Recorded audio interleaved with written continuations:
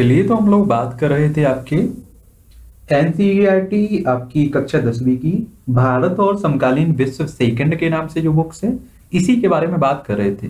तो इसमें दो चैप्टर आपके खत्म कर चुके हैं। पहला आपने देखा था यूरोप में राष्ट्रवाद का है ये सबसे महत्वपूर्ण चैप्टर है। और दूसरा भी आपका बहुत ही महत्वपूर्ण चैप्टर है, भारत में राष्ट्रवाद। इन दोनों के बारे में हम लोग बहुत अच्छे से विस्तार से पढ़ चुके थे। तो आप लोग देख ले उन्हें।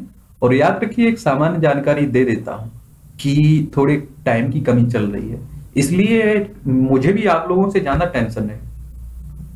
मेरा भी उद्देश्य आप देख रहे हैं कि आप लोगों की सभी के सभी एनसीईआरटी खत्म करना है। तो इसमें थोड़ा टाइम लग सकता है, लेकिन इंतज़ार कर लिया करिएगा थोड़ा। और आपकी कक्षा छठवीं से कक्षा दसवीं तक की लगभग सभी कंप्लीट करवा चुका हूँ। तो उन्हें देखते रहिए आप लोग अच्छे से। एक से दो दो बार देख लीजिए।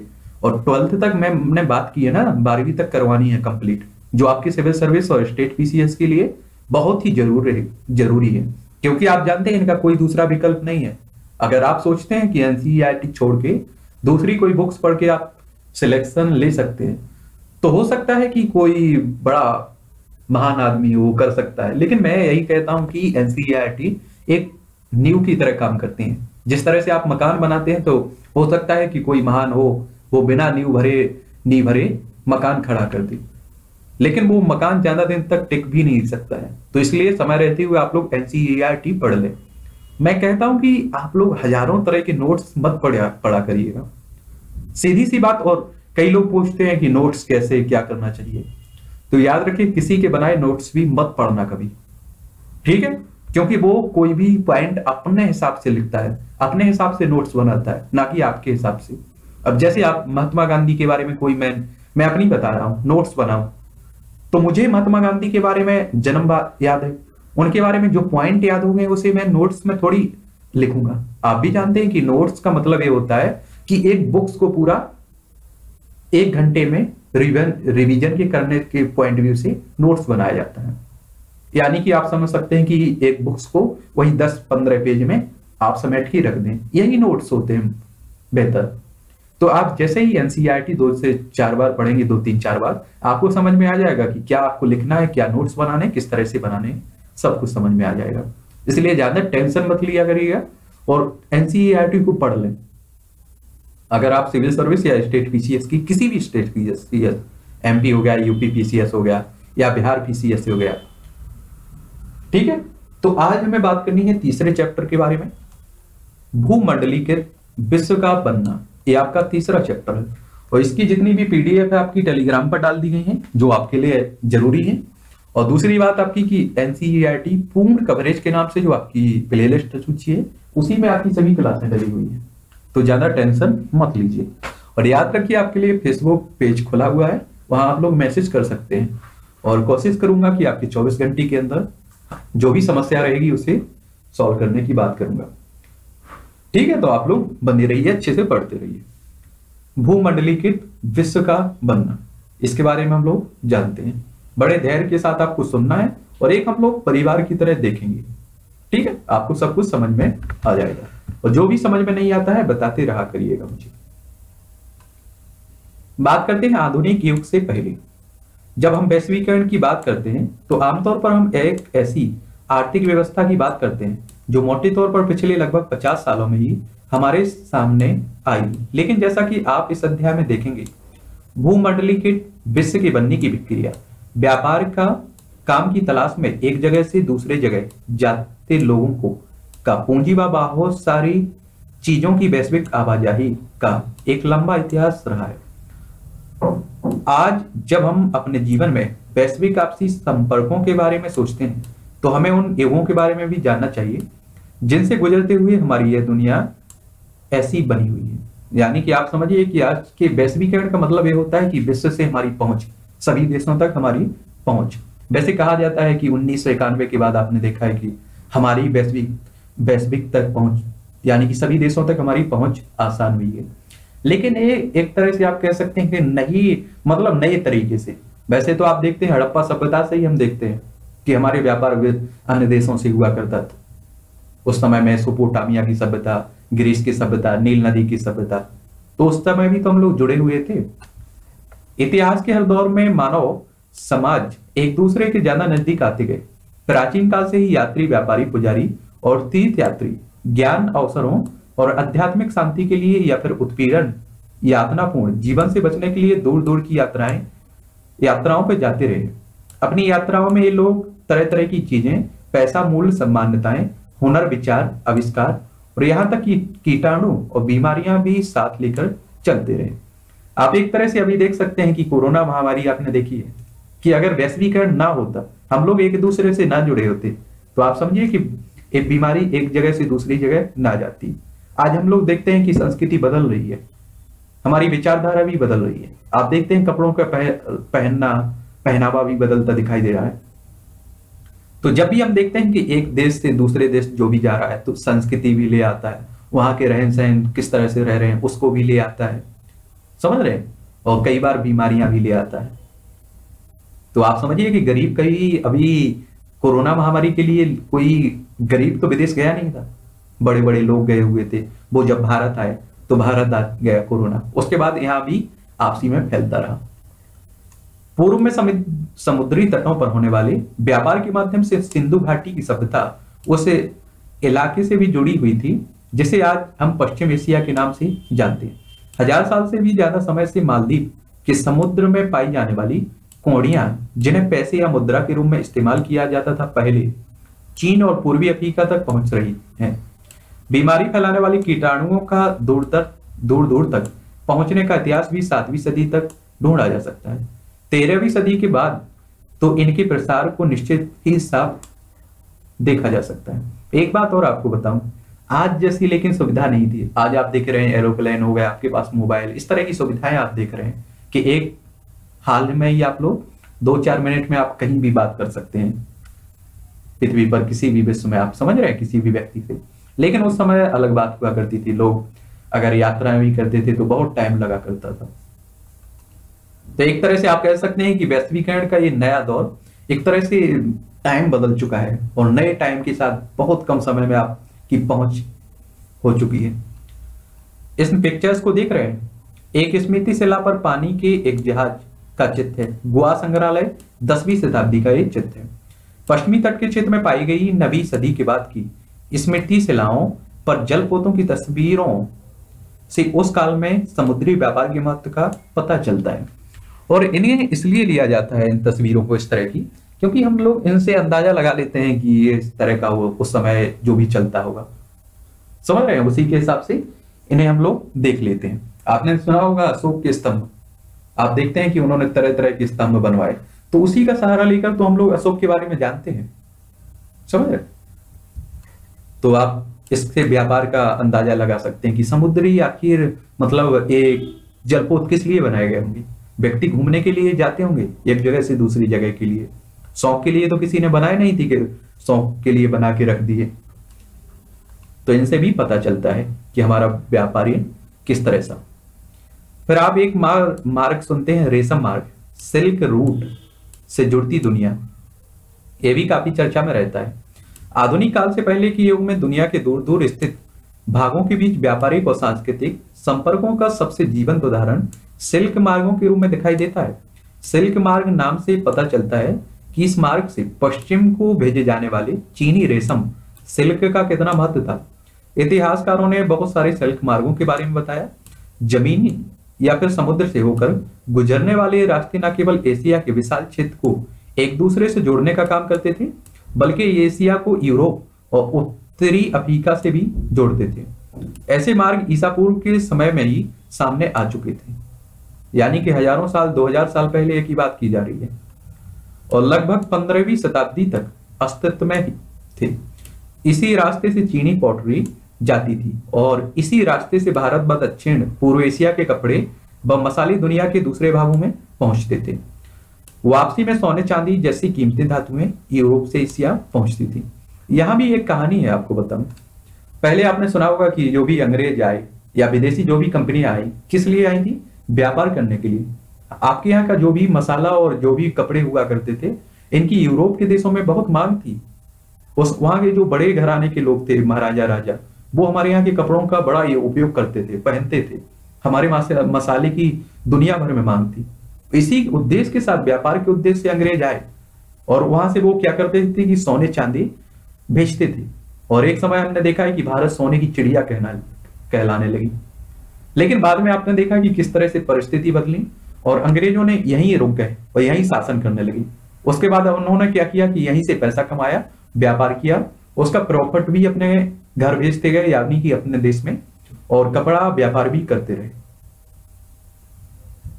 चीन की एक गुफा पेंटिंग में दर्शाया गया सिल्क मार्ग आठवीं सदी, गुफा 217 मुगाओ ग्राटोच, गंसू चीन की है चीन की गुफा है। कहाँ की? चीन की। व्यापार और सांस्कृतिक आदान प्रदान दोनों प्रक्रियाएँ साथ साथ चलती थी। शुरुआती काल के ईसाई मशीनरी निश्चित थी, इसी मार्ग से एशिया में आते होंगे। कुछ सदी बाद मुस्लिम धर्मोपदेशक भी इसी रास्ते से दुनिया में फैले। इसलिए भी बहुत पहले पूर्वी भारत में उपजा बौद्ध धर्म सिल्क मार्ग की विविध शाखाओं से ही कई दिशाओं में फैल चुका था। आप लोगों ने सुना भी होगा, उस समय के क्या हुआ करते थे? अशोक को ही ले लीजिए आप लोग। अशोक ने, आपने देखा कि तरह तरह की धर्म यात्राएँ भी की आपने उसके बेटे के बारे में भी सुना होगा। उसके बेटे महेंद्र और संगीविता बेटी ने चीन की यात्री, यात्रा की थी, बौद्ध धर्म के प्रचार के लिए। तो उस समय अपने अपने धर्म को जो भी जिस, जो भी राजा जिस धर्म को मानता था, उसका प्रचार करता था। ईसाइयों को आपने देखा है, मुस्लिमों को भी आपने देखा है। उनका ज़्यादा लूटने से ज़्यादा ध्यान रहता था कि अपने धर्म को किस तरह से बढ़ाया जाए। और ऐसे आप लोग सोलहवीं सदी तक भी देखते रहते हैं। मुगल काल में भी आपने देखा है और आज भी आप लोग देखते रहते हैं इस तरह की घटनाएँ। अब बात करते हैं भोजन की यात्रा, इस पे खेती और आलू। हमारी खाद्य पदार्थ दूर देशों के बीच सांस्कृतिक आदान प्रदान की कई उदाहरण पेश करते हैं। जब भी व्यापारी मुसाफिर किसी नए देश में जाते थे, जाने अनजाने वहाँ नई फ़सलों के बीज बो आते थे। संभव है कि दुनिया के विभिन्न भागों में मिलने वाले छठ पर तैयार होने वाले खाद्य पदार्थों के भी साझा स्रोत रहे हैं। आइए इस पे घेती और नूडल्स का ही उदाहरण लें। माना जाता है कि नूडल्स चीन से पश्चिम में पहुँचे और वहाँ उन्हें, उन्हीं से स्पेघेती का जन्म हुआ। या संभव है कि पास्ता अरब यात्रियों के साथ पांचवी सदी में सिसिली पहुँचा, जो अब इटली का एक टापू है। इसी तरह के आहार भारत और जापान में भी पाए जाते हैं। इसलिए हो सकता है कि हम कभी यह ना जान सकें कि उनका जन्म कैसे हुआ होगा। फिर भी इन अनुमानों के आधार पर इतना ज़रूर कहा जा सकता है कि आधुनिक काल से पहले भी दूर देशों के बीच सांस्कृतिक लेन देन चल रहे और आपको समझाने का यहाँ कोई, यहाँ से कोई वस्तु वहाँ जा रही, ये मतलब नहीं है। यहाँ समझाने का मतलब सिर्फ़ इतना है कि आपकी पहुँच उस समय भी अन्य देशों से थी। आपके यहाँ के भी सांस्कृतिक सांस्कृतिक लेन देन बने रहे होंगे। आप लोग गाँव में भी देखते हैं। एक समय हुआ करता था कि गाँव में ज़्यादा चाय लोग कम ही पीते थे, कॉफ़ी कम ही पीते थे। समझ रहे हैं? आज आप सोचिए कि गाँव किस तरह से शहर से जुड़ चुके हैं। तो एक जगह का खाना दूसरी जगह यूज़ होने लगा। मतलब आप सोचिए कि गाँव में भी लोग कॉफ़ी और इस तरह की चाय पीने लगे। तो इनकी मतलब एक तरह से कहिए कि ए, वैश्वीकरण का ही तो प्रभाव है, एक तरह से कह सकते हैं आप लोग। कि मतलब अन्य देशों से हमारे यहाँ खान पान आया, खाने लगे हम लोग। पहनावे की भी बात की है हमने। कि तरह तरह के हम लोग कपड़े पहन लगे लगे हैं, जो पश्चिमी देशों में पहने जाते थे, वो भी आज हमारे यहाँ पहनने लगे हैं। तो ये वैश्वीकरण का ही प्रभाव रहा है। ये आप देख रहे हैं पिक्चर शायद। बेनिस एवं पूर्वी विश्व से आए व्यापारी चीज़ों की अदला बदली करते हुए। Marco Polo book of marvels पंद्रहवीं सदी की बात है। देख रहा है? आलू, सोया, मूंगफली, मक्का, टमाटर, मिर्च शकरकंद ऐसे ही बहुत सारे दूसरे खाद्य पदार्थ लगभग 500 साल पहले हमारे पूर्वजों के पास नहीं थे। एक खाद्य पदार्थ यूरोप और एशिया में तब पहुँचे जब क्रिस्टोफर कोलंबस। कोलंबस गलती से उन अज्ञात महाद्वीपों में पहुँच गया था, जिन्हें बाद में अमेरिका के नाम से जानने, जाना जाने लगा। यहाँ अमेरिका का मतलब उत्तरी अमेरिका और दक्षिणी अमेरिका और कैरिबियन दो समूह से है। दरअसल हमारे बहुत सारे खाद्य पदार्थ अमेरिका के मूल निवासियों, यानी कि अमेरिकन, इंडियनों से हमारे पास आए हैं। याद रखिए अभी भी वहाँ की जन आप लोग जाति को बात करते हैं अमेरिकन इंडियन कहते हैं। यानी कि उन्हीं के नाम पर बात कर, किया जाता है। क्या होता है कि कोलंबस चलते हैं भारत की खोज के लिए। उस समय भारत कुछ ज़्यादा ही चर्चा में हुआ था बना हुआ था। लेकिन वो गलती से पहुँच जाते हैं अमेरिका की धरती पर। और वो कहने लगते हैं कि नहीं यही भारत है। एक नई दुनिया की खोज वो कर देते हैं। कई बार नई फ़सलों के आने से जीवन में ज़मीन आसमान का फ़र्क आ जाता था। साधा साधारण से आलू का इस्तेमाल शुरू करने पर यूरोप के गरीबों की ज़िंदगी अमूल रूप से बदल गई। उनका भोजन बेहतर हो गया, उनकी औसत उम्र बढ़ने लगी। आयरलैंड के गरीब काश्तकार तो आलू पर इस हद तक निर्भर हो चुके कि जब 1840 के दशक में दशक के मध्य किसी बीमारी के कारण आलू की फ़सल खराब हो गई तो लाखों लोग भूखमरी के कारण मौत के मुँह में चले गए। अभी भी तो हम लोग देखते हैं, आलू का किस तरह से प्रयोग किया जा रहा है। सबसे सस्ता एक समय हम लोग देखते हैं शायद मुझे लगता है कि आलू ही रहता है सब्जियों में हर समय। तो ये भी वैश्वीकरण का ही एक प्रभाव है। अब बात करते हैं विजय बीमारी और व्यापार। सोलहवीं सदी में जब यूरोपीय जहाजियों ने एशिया तक का, रा, का समुद्री रास्ता ढूंढ लिया वे पश्चिमी सागर को पार करते हुए अमेरिका तक जा पहुँचे। तो पूर्व आधुनिक विश्व बहुत छोटा सा दिखाई देने लगा। आज तो आप सोचिए कि आज तो ऐसा लगने लगा कि एक मतलब परिवार की तरह लगने लगा है कि हम एक दिन में आप चाहें तो कहीं भी पहुँच सकते हैं, कहीं भी आ सकते हैं। इतना सुपर फास्ट मतलब हम सोचिए हमारे पास टेक्नोलॉजी आ चुकी है। इससे पहले कई सदियों से हिंद महासागर के पानी में फलता फूलता व्यापार तरह तरह के सामान, लोग, ज्ञान और परंपराएँ एक जगह से दूसरी जगह आ जा रही थी। भारतीय उपमहाद्वीप में इन प्रवाहों के रास्ते में एक अहम बिंदु था। पूरे नेटवर्क में इस इलाके का भारी महत्व था। यूरोपियों के दाखिले से यह आवाजाही बढ़ने लगी और इन प्रवाहों की दिशा यूरोप की तरफ़ भी मुड़ गई। अपनी खोज से पहले लाखों साल से अमेरिका का दुनिया से कोई संपर्क नहीं था, लेकिन सोलहवीं सदी से उसकी विशाल भूमि और बेहिसाब फ़सलें व खनिज पदार्थ हर दिशा में जीवन का रूप रंग बदलने लगे। आप कहिए कि हमारा अगर कोई कहता है अमेरिका बड़ा है तो कहिए कि हमारी सभ्यता सबसे पुरानी है। समझ रहे हैं?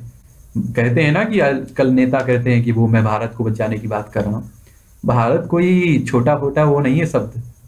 न कोई भौगोलिक स्थिति है ऐसी कि कोई आए और उठा के ले जाए। हमारा इतिहास आप सोचिए कि हज़ारों साल पहले का है। जब कोई धरती पर नहीं था, तब भी भारत था। आज भी है और हमेशा रहेगा। नेताओं, नेता तो बस रोटी सेकने की बात पर ही इस तरह की बातें करते रहते हैं, भारत को बचाने की। आपको लगता है कि भारत को बचाने की ज़रूरत है? वो वैसा ही हाल है कि बन बचाने की बात की जा रही है। अरे भाई, बनों ने हमें बचा के रखा हुआ है। हमारी औकात इतनी नहीं है कि हम बनों को बचाने की बात करें। कम से कम बस इतना ही कि छेड़छाड़ मत करिए बनों से। आज के पेरू और मेक्सिको में मौजूद खानों से निकलने वाली कीमती धातुएँ, खासतौर से चांदी, ने भी यूरोप की संपदा को बढ़ाया और पश्चिम एशिया के साथ होने वाले उसके व्यापार को गति प्रदान की है। सत्रहवीं सदी के आते थे पूरे यूरोप में दक्षिण अमेरिका की धन संपदा के बारे में तरह तरह के किस्से बनने लगे।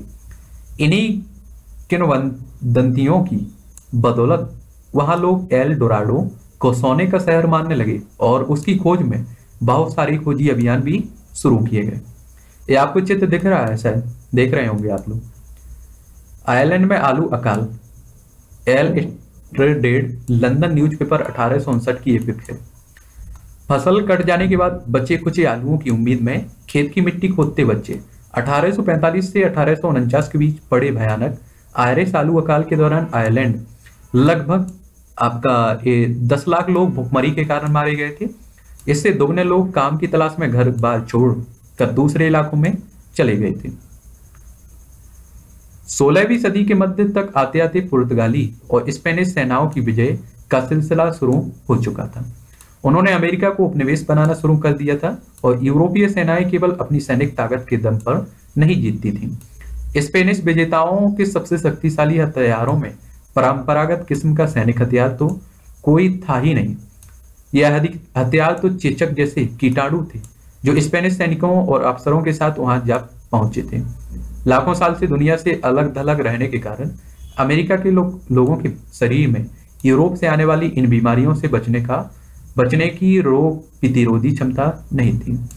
और आप सभी जानते हैं कि पुर्तगाल सबसे पहले हमारे देश में आए और सबसे बाद में आप समझते हैं कि उन्नीस सौ इकसठ तक हमारे देश में रहते हैं, सबसे बाद में छोड़कर जाते हैं। और प्रतिरोधक क्षमता की बात इसलिए की जाती है। समझिए आप लोगों को पोलियो का टीका क्यों लगाया जाता था बचपन में? इसलिए लगाया जाता था कि आगे, आने वाले समय में अगर पोलियो वायरस आप पर अटैक करता है तो आपकी ये सुरक्षा कर सके। ठीक है? तो अमेरिका के लोग, लोगों के पास इस तरह की प्रतिरोधक क्षमता थी ही नहीं तो वो इस बीमारी से कुछ ज़्यादा ही प्रभावित होते थे। अभी भी तो आप सुनते रहते हैं, जैविक हथियार, आप सुनते रहते हैं कई तरह की, इस तरह की जीवों की भी बात की जाती है। अभी से इस वायरस की भी बात की जा रही है कि चाइनीज़, चाइना ने इसे ईजाद किया है दुनिया को प्रभावित करने के लिए। जैविक युद्ध, न्यू इंग्लैंड स्थित मैसाचुसेट्स बे कॉलोनी के पहले गवर्नर जॉन बिनथोर्न ने मई 1634 में लिखा था कि छोटी चेचक उपनिवेशकारों के लिए ईश्वर का वरदान है। देसी जनता छोटी चेचक के कारण लगभग पूरी खत्म हो चुकी थी। इस तरह परमेश्वर ने हमारी मिल्कियत पर हमें मालिकाना दे दिया है। एक बात और आपको बताऊँ। एक समय हुआ करता था कि इस तरह की महामारी आया करती थी और गाँव के गाँव साफ़ हो जाया करते थे। उस समय आप सोचिए कि कुछ ज़्यादा ही प्रभावित हुआ करते थे। लोग और उस तरह, इस तरह की सुविधा भी नहीं थी उपचार की। तो आप समझिए, ये भी एक तरह का युद्ध ही हुआ करता था कि बिना लड़े खत्म। फलस्वरूप इस नए स्थान पर चेचक बहुत मारक साबित हुई। एक बार संक्रमण शुरू होने के बाद तो यह बीमारी पूरे महाद्वीप में फैल गई, जहाँ यूरोपीय लोग नहीं पहुँचे थे। वहाँ के लोग भी इसकी चपेट में आने लगे। इससे पूरे के पूरे समुदाय को खत्म कर डाला। इस तरह घुसपैठियों की जीत का रास्ता आसान होता चला गया। असंतुष्ट, जो स्थापित विश्वासों और तरफ़, तरीकों को नहीं मानता हो। आप भी तो कहते हैं कि हम असंतुष्ट हैं इस तरह के विश्वासों से, तरीकों से। वही शब्द होता है असंतुष्ट। बंदूकों को भी खरीद कर या छीन कर हमलावरों के खिलाफ भी इस्तेमाल किया जा सकता था, पर चेचक जैसी बीमारियों के मामले में तो ऐसा नहीं किया जा सकता था। क्योंकि हमलावरों के पास उससे बचाव का तरीका भी था और उनके शरीर में रोग प्रतिरोधी क्षमता भी विकसित हो चुकी थी। एक बात आपको बताऊँ, अभी जैसे कोरोना महामारी को आप लोग ले लीजिए, मान लीजिए, चीन ने इजाद की है। चीन ऐसा करे कि अपने यहाँ इसे इजाद करके इसका टीका बना के अपने लोगों को दे दे और उसके बाद ये क्या करे कि बाहरी देशों में भेज दिया हो इसने। मान लीजिए, एक बार एक मानने की बात की जा रही है। तो आप देखेंगे कि चीन की जनता तो सुरक्षित है ना? बाकी देश प्रभावित हुए। और आप सोचिए, जब तक इसकी बाहरी देश इसका टीका खोजेंगे, तब तक आधी दुनिया साफ़ हो चुकी होगी। तो इसी तरह की उस समय उस समय भी उपयोग करते थे इस कामों को। 19वीं सदी तक यूरोप में गरीबी और भूख का ही साम्राज्य था। शहरों में बेहिसाब भीड़ थी, बीमारियों का बोलबाला था, धार्मिक टकराव आम था, धार्मिक असंतुष्टों की को कड़ा दंड दिया जाता था। इस वजह से हज़ारों लोग यूरोप से भागकर अमेरिका जाने लगे। अठारहवीं सदी तक अमेरिका में अफ्रीका से पकड़कर लाए गए गुलामों को काम में झोंक कर यूरोपीय यूरोपीय बाजारों के कपा, के लिए कपास और चीनी का उत्पादन किया जाने लगा। तो याद रखिए, इससे क्या हुआ था कि वैश्वीकरण का एक और प्रभाव आपको देखने को मिलेगा कि जो आपने देखा होगा, अभी भी आश्वेत श्वेत लोगों को लेकर झड़प होती रहती है, अमेरिका में भी होती रहती है। अफ्रीका में तो आपने देखा कि नेल्सन मंडेला साहब हुए, उन्होंने काफ़ी हद तक इस पर कंट्रोल भी किया है। समझ रहे अभी भी अमेरिका में आपको इस तरह की झड़प देखने को मिलती रहती है। हम लोग तमिल की बात करते हैं, श्रीलंका में भी तमिल लोग देखने को मिलते हैं।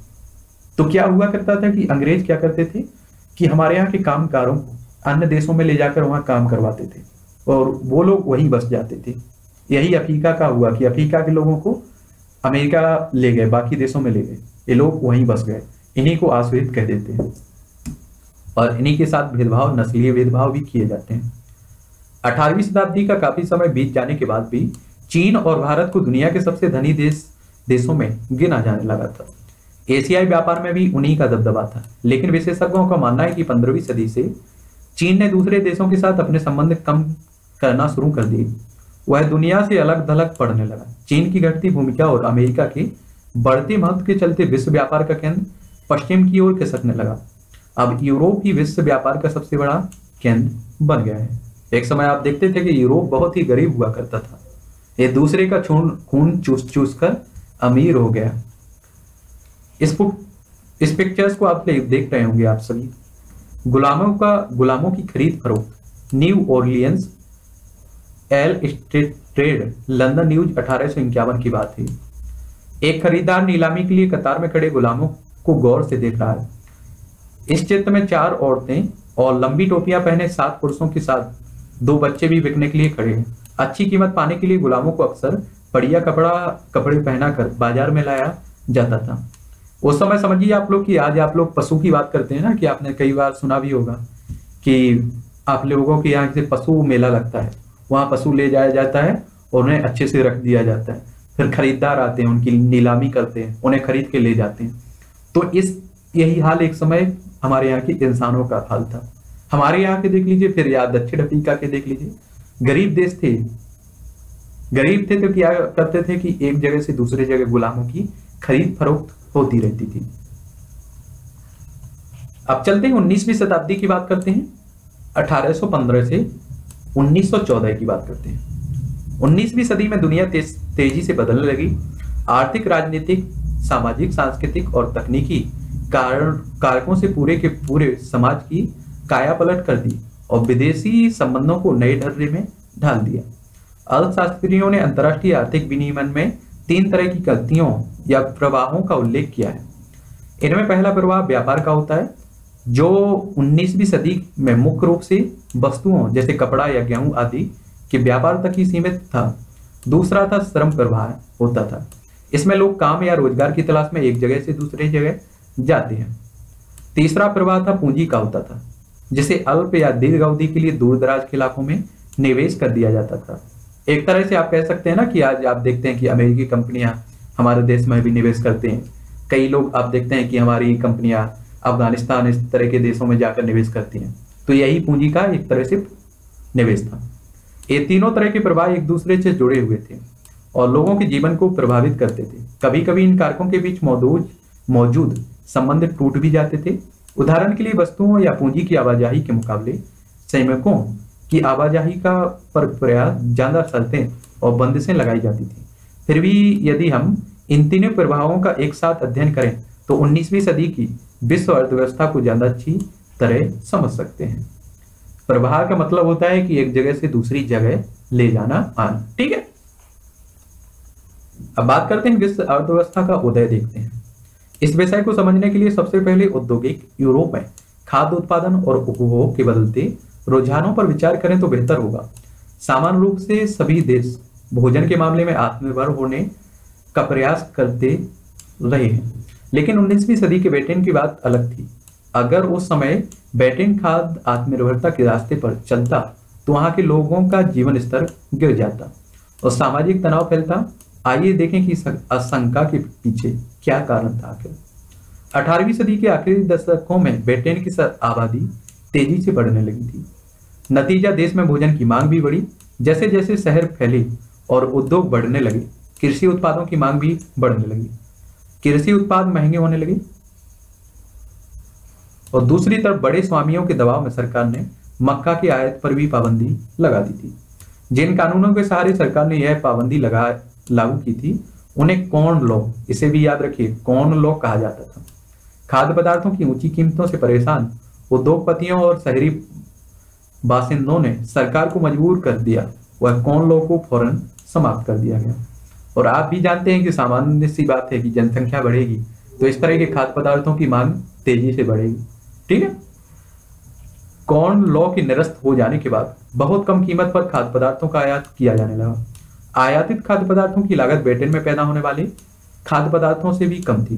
फलस्वरूप ब्रिटिश किसानों की हालत बिगड़ने लगी, क्योंकि वे आयातित माल की कीमत का मुकाबला नहीं कर सकते थे। विशाल भूभागों पर खेती बंद हो गई और हज़ारों लोग बेरोजगार हो गए। गाँव से उजड़कर बे या तो शहरों या फिर दूसरे देशों में जाने लगे। ये स्थिति आप भी, आज भी देखते हैं आप लोग। कई बार आपने देखा होगा कि जो बाहरी देशों से हमारे यहाँ खाद्य आयात होता है तो उन पर भी टैक्स लगा दिया जाता है। टैक्स इसलिए लगाया जाता है क्योंकि आप जानते हैं कि हमारे यहाँ के किसान हैं, उनकी हालत गंभीर हो सकती है। उनकी फ़सलों का आप सोचिए कि गेहूँ को ले लीजिए। आपके देश में कोई उत्पादन कर रहा है किसान, उगा रहा है गेहूँ को तो उसका खर्च आ रहा है एक किलो गेहूँ को उगाने में पंद्रह रुपए। और बाहरी देशों से अगर आपके यहाँ गेहूँ आए और वो दस रुपए में बेचने लगे। तो आपके देश के, हमारे देश के किसान उस देश से मतलब प्रतिस्पर्धा नहीं कर सकते बराबरी नहीं कर सकते तो इसीलिए आज के समाज में मतलब इस समय में हम लोग एक तरह से ड्यूटी भी लगा देते हैं उस पर, टैक्स लगा देते हैं। जैसे क्या होता है कि दोनों बराबर पर पहुँच जाते हैं। जब खाद्य पदार्थों की कीमतें गिरावट आई तो ब्रिटेन में उपभोग का स्तर बढ़ गया। 19वीं सदी के मध्य से ब्रिटेन की औद्योगिक प्रगति काफ़ी तेज़ी रही। जिसमें, जिससे लोगों की आय में वृद्धि हुई, इससे लोगों की जरूरतें बढ़ी और खाद्य पदार्थों का और भी ज़्यादा मात्रा में आयात होने लगा।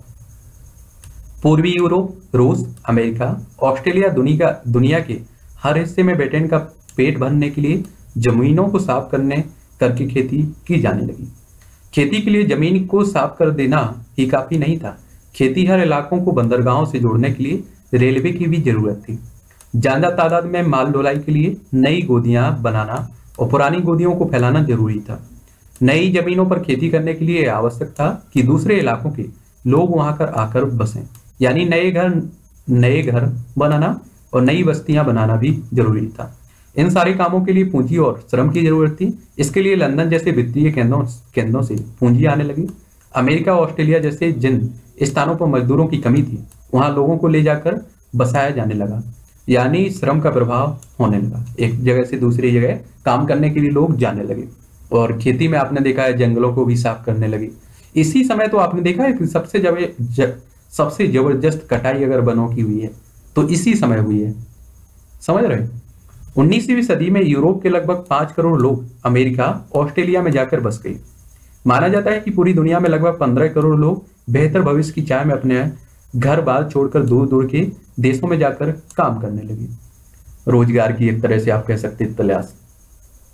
इस पिक्चर्स को आप देख रहे हो। अमेरिका को रवाना होते आप्रवासियों से लदे जहाज़ का चित्र है।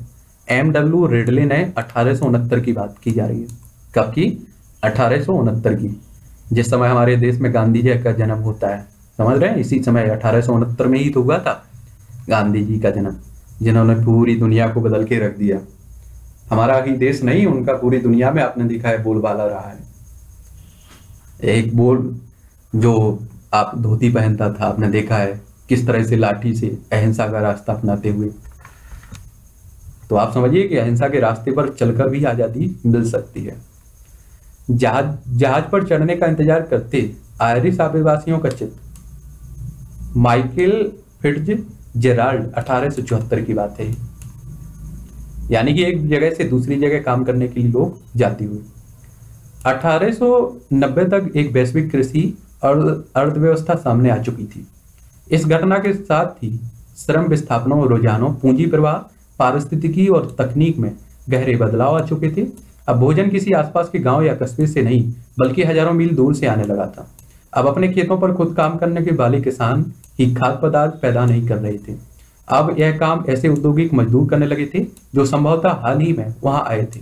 और ऐसे खेतों में काम कर रहे थे, जहाँ महज एक पीढ़ी पहले संभवतः ठेठ जंगल हुआ करते थे। यानी कि कुछ समय पहले जंगल हुआ करते थे। उन्हीं को साफ़ करके इस तरह के खेत बनाए गए। खाद्य पदार्थों को एक जगह से दूसरी जगह पहुँचाने के लिए रेलवे का इस्तेमाल किया जाता था। रेलवे का नेटवर्क इसी काम के लिए बिछाया गया था।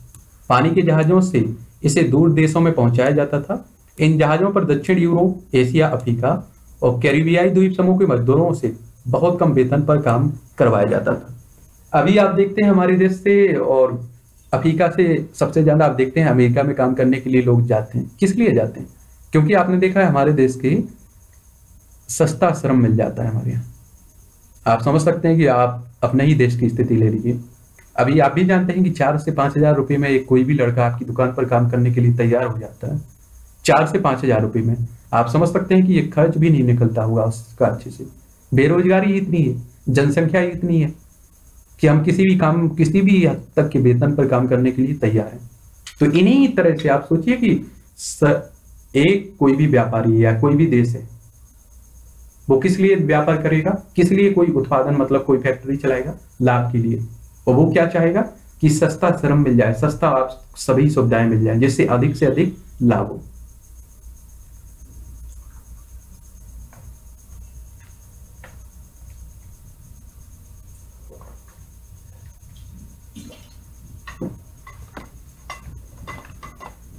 आगे बढ़ते हैं। बहुत छोटे पैमाने पर ही। सही, लेकिन इसी तरह के नाटकीय बदलाव में अपने यहाँ पंजाब में भी देख सकते हैं। यहाँ ब्रिटिश भारत सरकार ने अर्ध रेगिस्तानी परती ज़मीन को उपजाऊ बनाने के लिए नहरों का जाल बिछा दिया, ताकि निर्यात के लिए गेहूँ और कपास की खेती की जा सके। नए नहरों की सिंचाई वाले इलाकों में पंजाब के अन्य स्थानों के लोगों को लाकर बसाया गया। उनकी बस्तियों को कैनाल कॉलोनी नहर बस्ती का कहा जाता था। भोजन जो सिर्फ़ एक उदाहरण मात्र है, कुछ ऐसी ही कहानी कपास की भी थी, रही है, जिनकी, जिसकी दुनिया भर में बड़े पैमाने पर खेती की जाने लगी थी, ताकि ब्रिटिश कपड़ा मिलों की मांग को पूरा किया जा सके। रबड़ की कहानी भी इसी तरह, इससे अलग नहीं है। विभिन्न चीज़ों के उत्पादन में विभिन्न इलाकों ने इतनी महारत हासिल कर ली थी कि 1820 से 1914 के बीच विश्व व्यापार में 25 से 40 फ़ीसदी गुना वृद्धि हो चुकी थी। इस व्यापार में लगभग आप 60 प्रतिशत हिस्सा प्राथमिक उत्पादों, यानी गेहूँ और कपास जैसे कृषि उत्पादों और कोयले जैसे खनिज पदार्थों का भी है। याद रखिए, अंग्रेज़ों के आने के बाद बहुत कुछ बदला। आपने देखा है कि तरह तरह की खेती की जाने लगी है और रेलवे लाइनों का भी बिछाई गई हुई है। आपने देखा है कि आपने बंदरगाहों का भी निर्माण किया गया है कि एक जगह से दूसरी जगह खाद्यान्न भेजने में परेशानी ना हो। तकनीक की भूमिका की अगर बात करें तो इस घटनाक्रम में तकनीक की क्या भूमिका रही है? रेलवे भाप के जहाज़, टेलीग्राफ, ये सब तकनीक की बदलाव बहुत महत्वपूर्ण रहे हैं। उनके बिना 19वीं सदी में आए परिवर्तनों की कल्पना नहीं की जा सकती है। तकनीकी प्रगति अक्सर चौतरफा, सामाजिक, राजनीतिक और आर्थिक कारकों का परिणाम भी होती है। उदाहरण के लिए उपनिवेशीकरण के कारण यातायात और परिवहन साधनों में भारी सुधार किए गए तेज चलने वाली रेलगाड़ियाँ बनी, बोगियों का भार कम किया गया जलपोतों का आकार बढ़ा, जिससे किसी भी उत्पाद को खेतों से दूर दूर के बाजारों में कम लागत और ज़्यादा आसानी से पहुँचाया जा सके। एक बार, एक, अभी सुनिए, उन्नीस सौ सैंतालीस के बाद की ही बात है। हम लोग बाहरी मात्रा में गेहूँ भी आयात किया करते थे। कहा जाता है कि लाल बहादुर शास्त्री का योगदान है कि हम लोग आज आत्मनिर्भर है खेती में। यानी कि गेहूँ खाद्यान्न हमारे लिए पर्याप्त हो जाता है हमारे देश में। लेकिन इससे पहले आपने देखा है कि बहुत बड़ी मात्रा में हम लोग आयात करते थे, अमेरिका जैसे देशों से। ये चित्र आपको दिख रहा होगा स्क्रीन पर। द स्मिथ फ़ील्ड क्लब, पशु बाज़ार अठारह सौ इक्यावन में एल ट्रेड लंदन न्यूज़ का। मेलों में किसान अपने पालतू जानवर लाते थे, जिनकी वहाँ खरीद फरोख्त भी की जाती थी। स्मिथ फ़ील्ड में लंदन का सबसे पुराना पशु बाज़ार था। 19वीं सदी के मध्य में स्मिथ फ़ील्ड के पास पास एक विशाल मुर्गी एवं मांस बाज़ार खोला गया था। जहाँ से देश के सभी बड़े मांस आपूर्ति केंद्रों को रेलवे लाइन जाती थी। यहाँ आप देख रहे हैं। ये है पशु। मांस उत्पादों के व्यापार से इस प्रक्रिया का अच्छा अंदाज़ा मिलता है और 1870 के दशक तक अमेरिका से यूरोप को मांस का निर्यात नहीं किया जाता था। उस समय केवल ज़िंदा जानवर ही भेजे जाते थे, जिन्हें यूरोप ला, ले जाकर ही काटा जाता था। लेकिन ज़िंदा जानवर बहुत ज़्यादा जगह घिरते थे, बहुत सारे तो लंबी सफ़र में मर भी जाते थे या फिर बीमार पड़ जाते थे। बहुतों का वज़न गिर जाता था, या फिर खाने के लायक नहीं रह जाते थे। इसी वजह से मांस खाना एक महँगा सौदा था। यूरोप के गरीबों की गरीबों की पहुँच से बाहर था। दूसरी तरफ़ ऊँची कीमतों के कारण मांस उत्पादों की मांग और उत्पादन भी कम रहता था। नई तकनीक के आने पर यह स्थिति बदल गई। पानी के जहाजों में रेफ्रिजरेशन की तकनीक स्थापित कर दी गई, जिससे जल्दी खराब होने वाली चीज़ों को भी लंबी यात्राओं पर ले जाया जा सकता था। आप ही आज देखते हैं कि आप जो भी मांस लेते हैं, जो भी आप लोग खाते होंगे कई लोग तो आप लोग ताज़ा कभी कभी आप देखते हैं कि ताज़ा नहीं लेते हैं। फ्रेजर में रखा रहता है। मछली को आप लोग ले लीजिए। ताजी मछली मुझे नहीं लगता है कि कम लोग, अगर जहाँ आपकी सुविधा है, आपकी पहुँच है तालाबों तक, वहाँ से डायरेक्ट आप लोग ले रहे हैं। तो हो सकता है। वरना आप देखते हैं कि फ्रेजरों में, बर्फ़ में रख कर आती है बर्फ़, उसी को आप लोग खरीदते हैं। याद रखिए, ऐसा भी होने लगे, आप सोचिए कि मान लीजिए बकरी है, ठीक है, बकरी बकरे, इनका मांस इस तरह से हमारे देश में व्यवस्था हो जाए कि इनका मांस, अभी भी कई जगह व्यवस्था देखने को मिलती है, इनका मांस काट के, इनके जो भी बाकी खराब सामान मतलब खराब इनका जो भी इनमें जो मेन उपयोगी है, जो खाने लिए योग्य है, उसे काट कर एक मतलब इस तरह से पैकेट बनाए जाए कि भेजने लगे, एक जगह से दूसरी जगह सप्लाई करने लगे। तो आप सोचिए कि गाँव से, गाँव में ही इस तरह की बात होने लगेगी कि वहाँ से मांस काटिए और जो ज़रूरत का सामान है, उसे निकालिए और बाकी वहीं फेंक दीजिए। तो यही हुआ करता था। यूरोप में आप देख रहे हैं कि जब ज़िंदा जानवरों को लाते थे तो कई मर जाते थे, कई बीमार पड़ जाते थे। आप समझ रहे हैं कि मतलब बहुत हानि हुआ करती होगी। उसके बाद आप देख सकते हैं कि बदलाव हुआ, तकनीक आई और आपने देखा कि वहाँ से मांस ही निर्यात होने लगा। एक जगह से दूसरी जगह। अब जानवरों को एक जगह से दूसरी जगह ले जाना नहीं पड़ता था।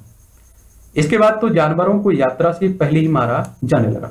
अमेरिका, ऑस्ट्रेलिया न्यूजीलैंड सब जगह से जानवरों की वजह उनका मासी यूरोप भेजा जाने लगा।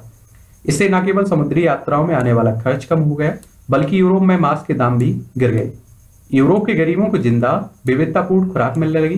पहले उनके पास सिर्फ़ आलू और ब्रेड होते थे, अब बहुत सारे लोगों के भोजन में मांसाहार, मक्खन व अंडे भी शामिल हुए जीव स्थिति, जीवन स्थिति सुधरी तो देश में शांति स्थापित होने लगी और दूसरे देशों में साम्राज्यवादी मंसूबों को समर्थन भी मिलने लगा। आप ही सोचिए कि एक जहाज़ पर आप, चलिए मान लीजिए कि दस बकरी ले जा रहे हैं। और अगर आप चाहें तो एक बकरी की जगह मांस की, अगर मांस में हम लोग इन्हें बदल लें काट कर ले जाए, पूरा मांस निकाल के, जो ज़रूरत का है तो एक बकरी की जगह पूरा आप सोचिए दस का, जो दस बकरी होंगे उनका स्थान आ जाएगा। मांस में अगर हम लोग इन्हें बदल के करें। तो इसमें क्या होगा कि अधिक से अधिक उपयोगी ही सामान हम लोग दूसरे देश में भेज पाएँगे। बाकी का जो उपयोगी नहीं है, उसे फेंक देते हैं। ठीक है? इसे देख रहे हैं आप लोग। मास्को अल, अली किसानद्रा जलपोत पर लादा जा रहा है। इल स्टे ट्रेड लंदन न्यूज़ अठारह सौ अठहत्तर की बात है। मास्क का निर्यात तभी संभव हो पाया है जब जहाजों को ठंडा रखने की व्यवस्था कर ली गई है। क्योंकि क्या होता है कि मास्क खराब भी हो जाते हैं। कोई भी वस्तु आप देखते हैं इस तरह की खराब होने वाली तो वो खराब हो जाती है। लेकिन आप देखते हैं रेफ्रिजरेटर आ चुका है। तो आज तो आप लोग दूध का भी देखते हैं कि सुबह पहले क्या हुआ करता था कि दूध सुबह लिया हम लोगों ने और शाम तक शाम तक जाते जाते खराब हो जाता था। लेकिन आज हम लोग देखते हैं 102 तीन दिन तक भी रखा रहता है दूध। आप लोग कई सब्ज़ियाँ भी देखते हैं कि फ्रिज रख, रखे रहते हैं आप लोग, उसमें आप लोग रख देते हैं। और चार पाँच पाँच छह छह दिन काम चलाते हैं। ठीक है? तो ये सुविधा है, एक तरह से तकनीक का ही तो फ़ायदा है। समझ रहे हैं आप लोग? अब हम बात करते हैं 19वीं सदी के आखिर में उपनिवेशवाद। 19वीं शताब्दी के आखिर में आखिरी दशकों में व्यापार बढ़ा और बाज़ार तेज़ी से फैलने लगे। या केवल फैलते व्यापार और संपन्नता का ही दौर नहीं था। हम इस प्रक्रिया के स्याय पक्ष को भी नजरअंदाज नहीं करना चाहिए। व्यापार में इजाफे और विश्व अर्थव्यवस्था के साथ निकटता का एक परिणाम यह भी हुआ है कि दुनिया के बहुत सारे भागों में स्वतंत्रता और आजीविका के साधन छिनने लगे।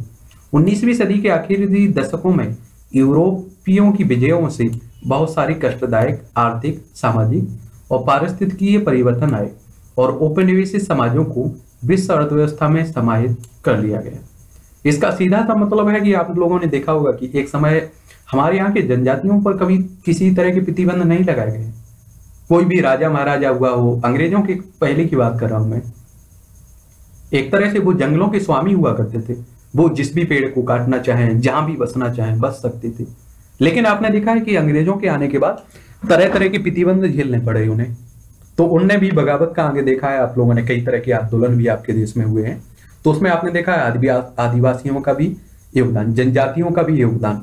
जनजाति आंदोलन, आदिवासी आंदोलन। समझ रहे हैं आप लोग?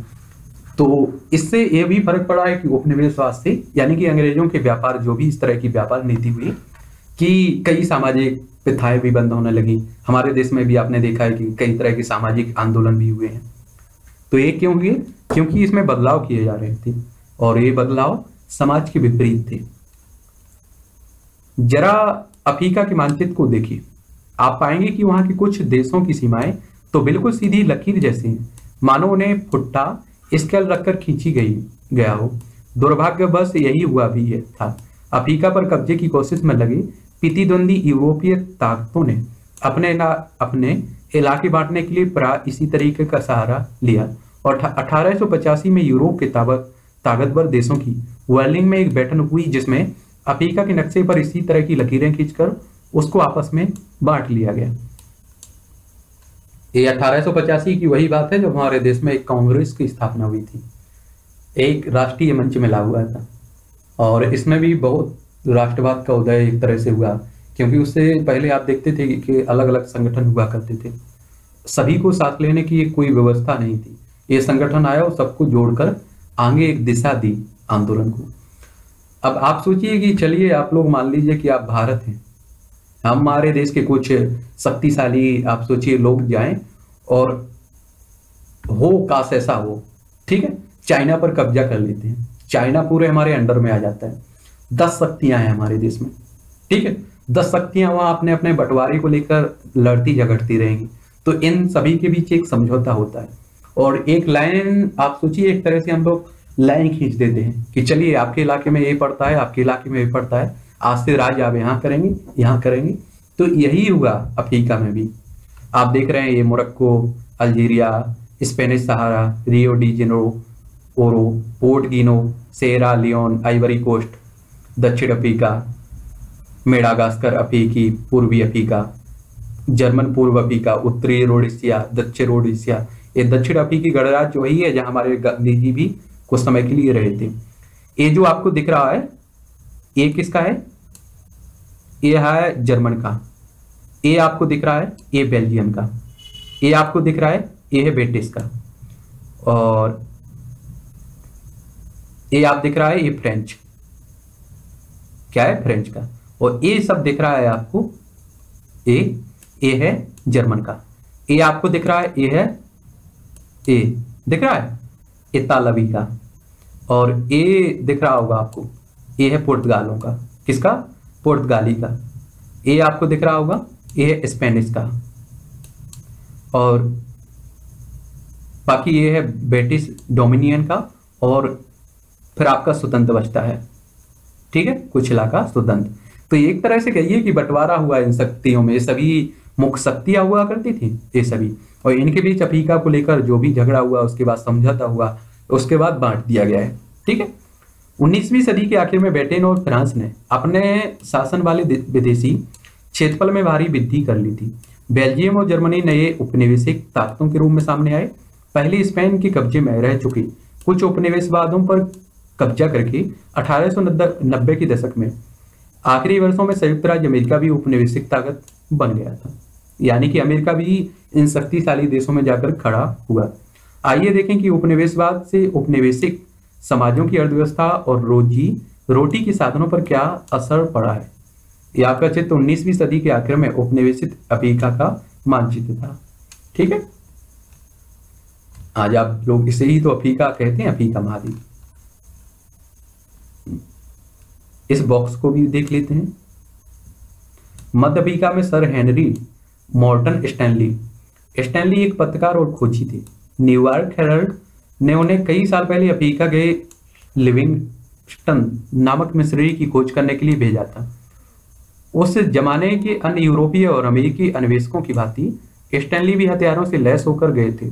उन्होंने वहाँ जाकर स्थानीय शिकारियों, योद्धाओं और मजदूरों को इकट्ठा किया।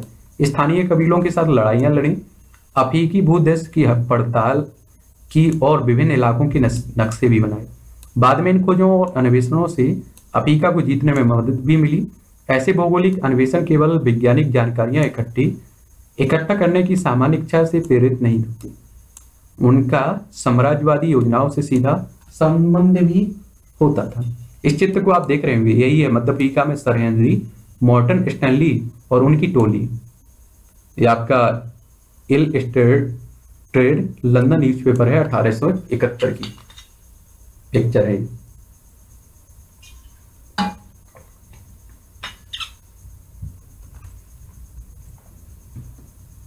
अब बात करते हैं आगे हम लोग। रेंडर पेस्ट या मवेशी प्लेग यानी कि बीमारी।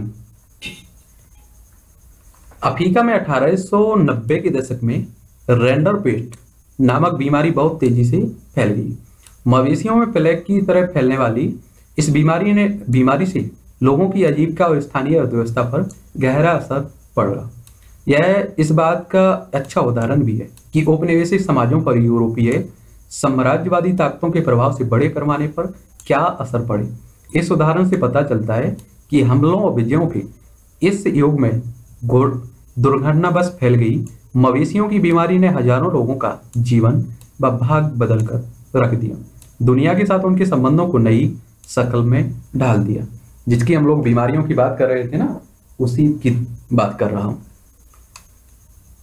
प्राचीन काल से ही अफ्रीका में जर्मन ज़मीन की कभी कोई कमी नहीं रही। जबकि वहाँ की आबादी बहुत कम थी। कहा की अफ्रीका महाद्वीप की बात कर रहा हूँ। सदियों तक अफ्रीकियों की ज़िंदगी व कामकाज ज़मीन और पालतू पशुओं के ही चलता रहा है।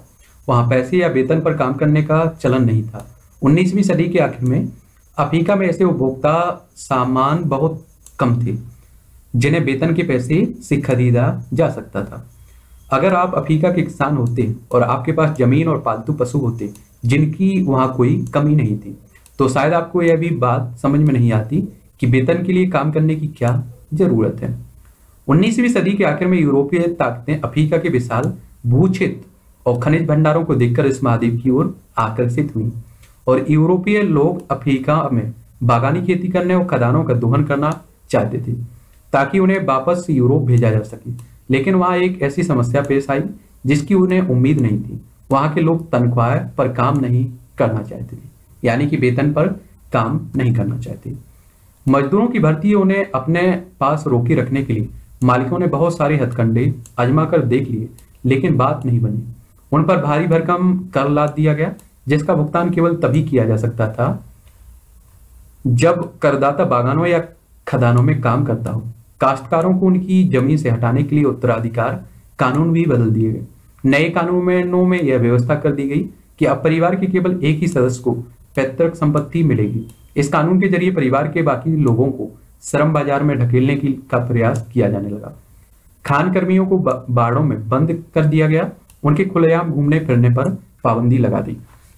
तभी वहाँ रेंडर पेस्ट नामक विनाशकारी पशु रोग भी फैलने लगा। एक तरह से आप कह सकते हैं कि आप किसी गाँव में जाते हैं, कोई फैक्ट्री चालू करते हैं, वहाँ के लोग काम करने के लिए वेतन पर तैयार ना हो, और आपको इस तरह की श्रमिकों की ज़रूरत है तो आप क्या करेंगे? कई तरह के हथकंडे आप भी अपनाएँगे। तो इन्होंने अंग्रेज़ों ने भी उस समय यूरोपीय जो भी शक्तिशाली शक्तिशाली थे, उन्होंने यही किया। कि आप सोचिए कि एक, पाँच पुत्र थे एक बाप के किसी के। एक बेटे को ज़मीन दे दी जाती है। पाँच क्या करेंगे? पाँच कम से कम रोज़गार की तलाश में दूसरी जगह काम तो करेंगे? पैसे की चाहत में। तो ऐसी तरह के कई कदम उठाए। ये आप देख रहे हैं कि अफ्रीका, दक्षिण अफ्रीका के ट्रांसवाल स्वर्ण खदानों में खुदाई करते हुए मजदूर, द ग्राफिक 1875 का चित्र है। ठीक है?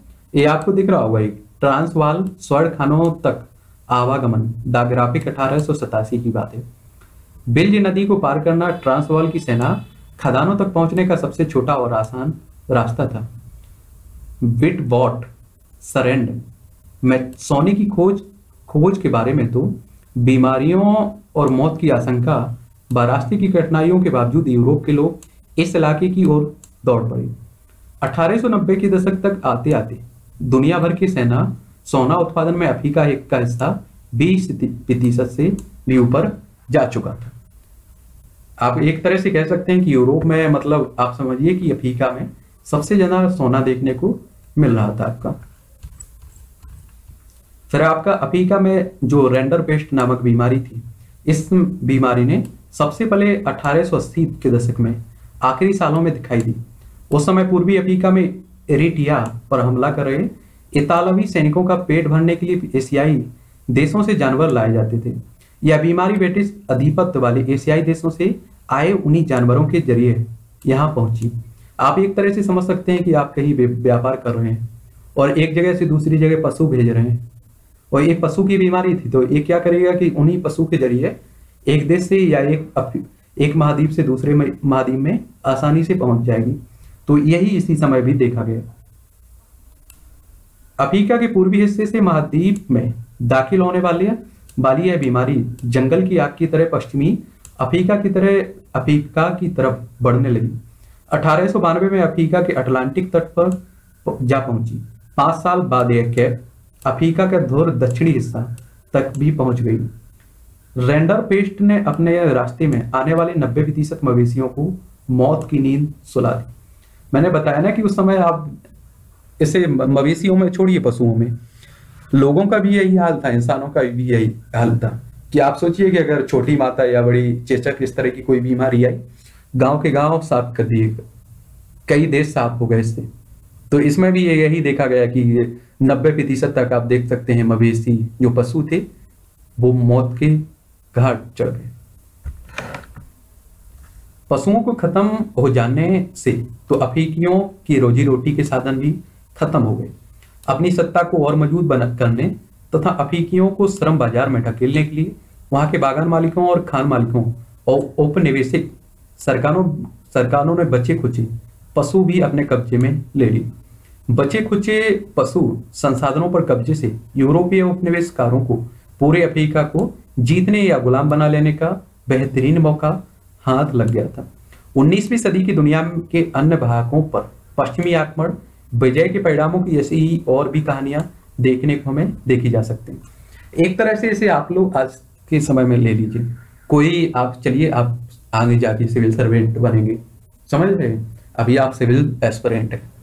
तो आप देखिए कि आप ईमानदार है, मान लेते हैं हम। तो आपको भ्रष्ट मतलब आप किसी तरह के भ्रष्टाचार नहीं कर रहे हैं। तो आपसे सभी लोग नाराज़ रहेंगे और आप कोशिश करेंगे कि आपको भी इसमें शामिल कर लिया जाए।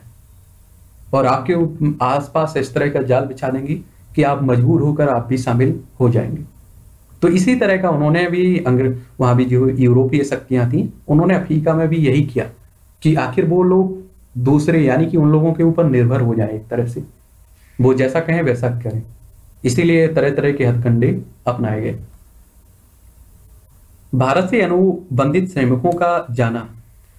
भारत से अनुबंधित यानी कि गिरमिटिया, यानी कि एक जगह से दूसरे जगह ले जाने वाले किसान जो भी श्रमिक थे, काम करने वाले थे, इन्हें ही आप लोग गिरमिटिया कह देते हैं या फिर अनुबंधित कह देते हैं। ठीक है? श्रमिकों को ले जाना भी 19वीं सदी की दुनिया की विविधता को प्रतिबंधित करता है, एक जगह से दूसरी जगह। यह तेज आर्थिक वृद्धि के साथ साथ जनता के कष्टों में वृद्धि, कुछ लोगों की आय में वृद्धि और दूसरों के लिए बेहिसाब गरीबी, कुछ क्षेत्रों में भारी तकनीकी प्रकृति और दूसरे क्षेत्रों में उत्पीड़न के नए रूपों की इजाद की दुनिया भी थी। आप लोग आज रेड इंडियन कहते हैं। ये कहाँ से गए वहाँ? हमारे ही देश से। आज आप देखते हैं कि तमिल मुद्दा बना रहता है श्रीलंका में। ये कहाँ से वहाँ पहुँचे तमिल? ये इसी के लिए गए थे, चाय बागानों में काम करने के लिए हमारे भारत से। और वहीं स्थायी रूप से बस गए। और आज भी देखते हैं, बसे हुए वहीं। 19वीं सदी में भारत और चीन के लाखों मजदूर, मजदूरों को बागानों, खदानों, सड़क व रेलवे निर्माण परियोजनाओं में काम करने के लिए दूर दूर के देशों में ले जाया गया। और भारतीय अनुबंधित श्रमिकों को खास तरह के अनुबंध या फिर एग्रीमेंट के तरह तहत ले जाया जाता था। इन अनुबंधों में यह शर्त होती थी कि यदि मजदूर अपने मालिक के बगानों के पाँच साल काम कर लेंगे तो भी स्वदेश लौट सकेंगे। एक आप लोगों ने साउथ की कोई मूवी है? आप लोग देखते हैं कि कोई क्या करता है कि उन्हें एक तरह से इसी तरह का एग्रीमेंट कर लेता है और विदेशों में भेज देता है उन लोगों को। उनके जो भी पासपोर्ट होते हैं, उन्हें भी जब्त कर लिया जाता है। उनसे एक एग्रीमेंट करवा लिया जाता है कि आप अगर चार से पाँच साल नौकरी करेंगे, तभी आपको वापस भेजा जाएगा। तो इसी तरह का काम किया जाता था उस समय में।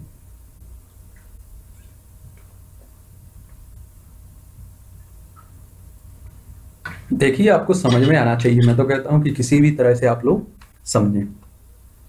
कहीं से भी कोई भी उदाहरण आप पुट कर सकते हैं, शामिल कर सकते हैं। भारत के ज़्यादातर अनुबंधित श्रमिक मौजूदा पूर्वी उत्तर प्रदेश, बिहार, मध्य मध्य भारत और तमिलनाडु के सूखे इलाकों से हुआ करते थे। आज भी आप देखते हैं कि यही इस तरह के श्रमिक आज भी यहाँ उत्तर प्रदेश, बिहार, मध्य प्रदेश हो गया। यहाँ आज भी देखने को मिलते हैं आपको। और आज भी आप देखते हैं कि बाकी जो विकसित देश है, विकसित राज्य हैं उनमें आप देखने को मिलते हैं कि बिहार, उत्तर प्रदेश के मजदूर काम करने के लिए जाते हैं। उन्नीसवीं सदी के मध्य मध्य में इलाकों में भारी बदलाव आने लगे और कुटीर उद्योग खत्म हो रहे थे। ज़मीन का भाड़ा बढ़ गया था। खानों और बागानों के लिए जमीनों को साफ़ किया जा रहा था। ये अंग्रेज़ों के समय की ही बात है। इन परिवर्तनों से गरीबों के जीवन पर गहरा असर पड़ा। वे बटाई पर ज़मीन तो लेते थे, लेकिन उनका भाड़ा नहीं चुका पाते थे। उन पर कर्जा चढ़ने लगा। काम की तलाश में उन्हें अपने घर बार छोड़ने पड़े। भारतीय अनुबंधित श्रमिकों को मुख्य रूप से कैरिबियाई द्वीप समूह मुख्यतः त्रिनिदाद गुआना सुरीनाम मॉरिसस या फिर फिजी ले जाया जाता था। तमिल आप्रवासी सिलोन, यानी कि जिसे आज आप लोग श्रीलंका कहते हैं, और मलाया जाकर काम करते थे। बहुत सारे अनुबंधित सैनिकों को असम के चाय बागानों में काम करवाने के लिए भी ले जाया जाता था। ये आपके सामने पिक है। दिख रही होगी आपको।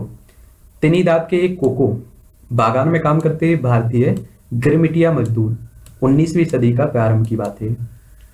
मजदूरों की भर्ती का काम मालिकों के एजेंट किया करते थे और एजेंटों को कमीशन मिलता था। बहुत सारे प्रवासी अपने गाँव में होने वाले उत्पीड़न और गरीबी से बचने के लिए भी इन अनुबंधों को मान लेते थे। एजेंट भी भा, भावी आप्रवासियों को फुसलाने के लिए झूठी जानकारियाँ देते थे। कहा जाने लगा कि यात्रा के साधन क्यों होंगे? क्या काम करना होगा? और नई जगह पर काम और बाद जीवन के हालात कैसे होंगे? इस बारे में उन्हें सही जानकारी नहीं दी जाती थी। बहुत सारे आप्रवासियों को तो यह भी नहीं बताया जाता था कि उन्हें लंबी समुद्री यात्रा पर जाना है।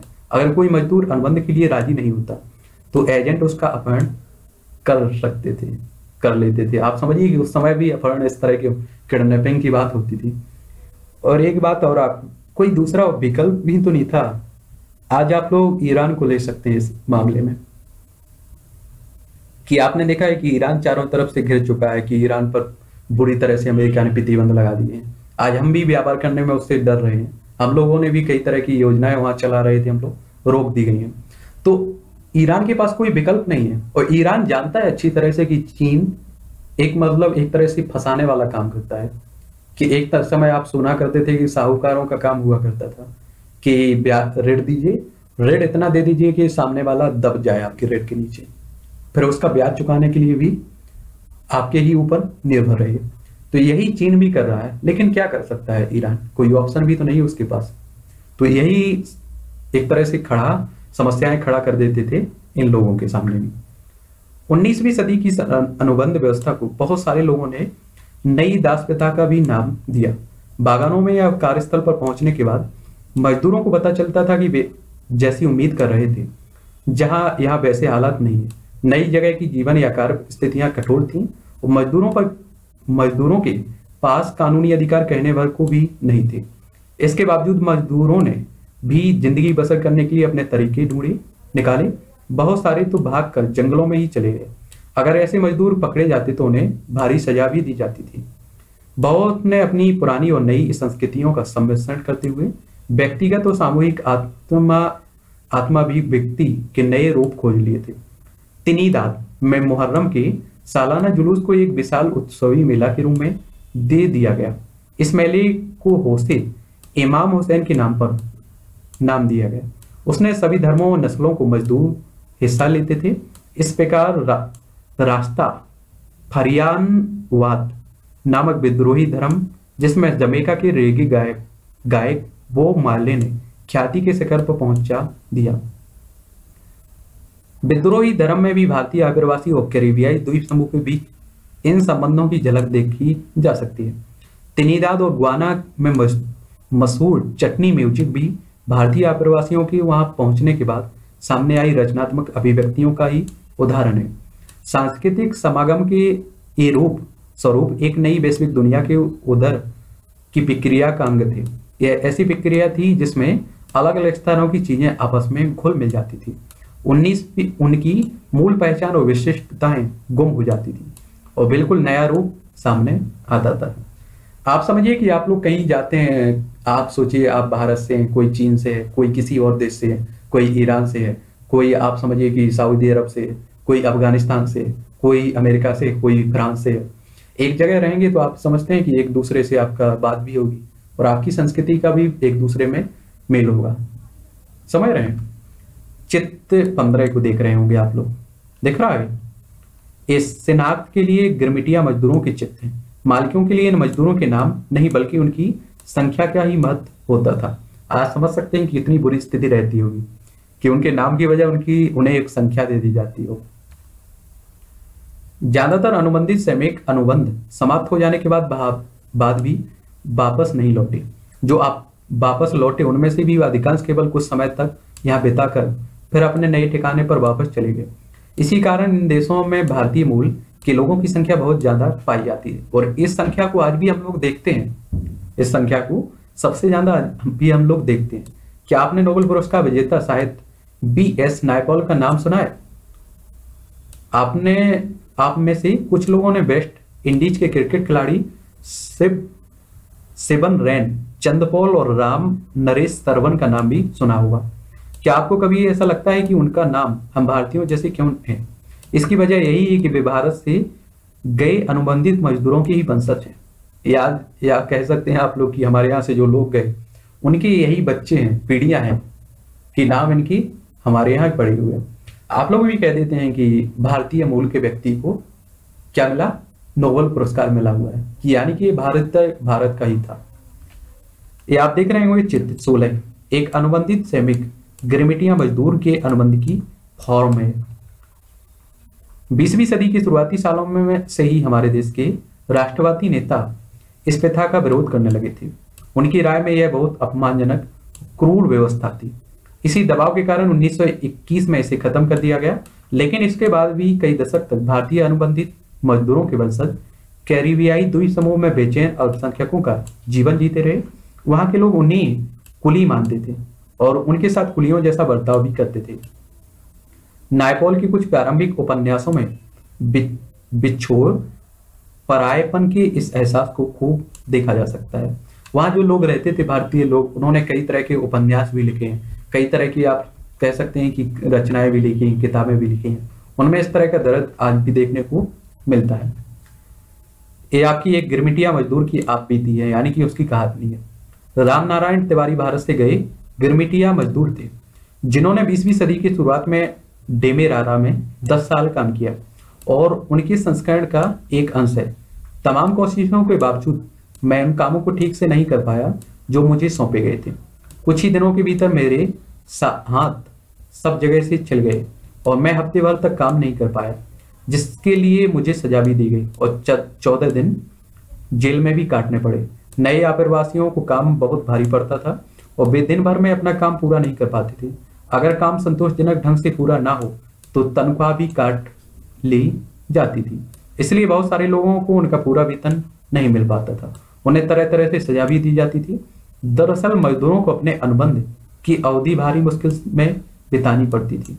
ये आपका वाणिज्य एवं उद्योग विभाग आप्रवासन शाखा 1916 से लिया गया एक स्रोत है।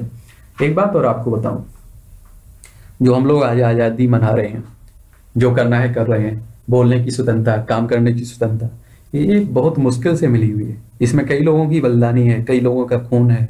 आप समझ रहे हैं, बड़ी आसानी से नहीं मिल गया। वो कहा जाता है ना कि आसानी से मिली हुई चीज़ की हम लोग कदर नहीं करते हैं। तो वैसा ही हाल है हमारा। इसके लिए आप लोग कभी इतिहास में जाकर देख सकते हैं। कितना अत्याचार किया गया है।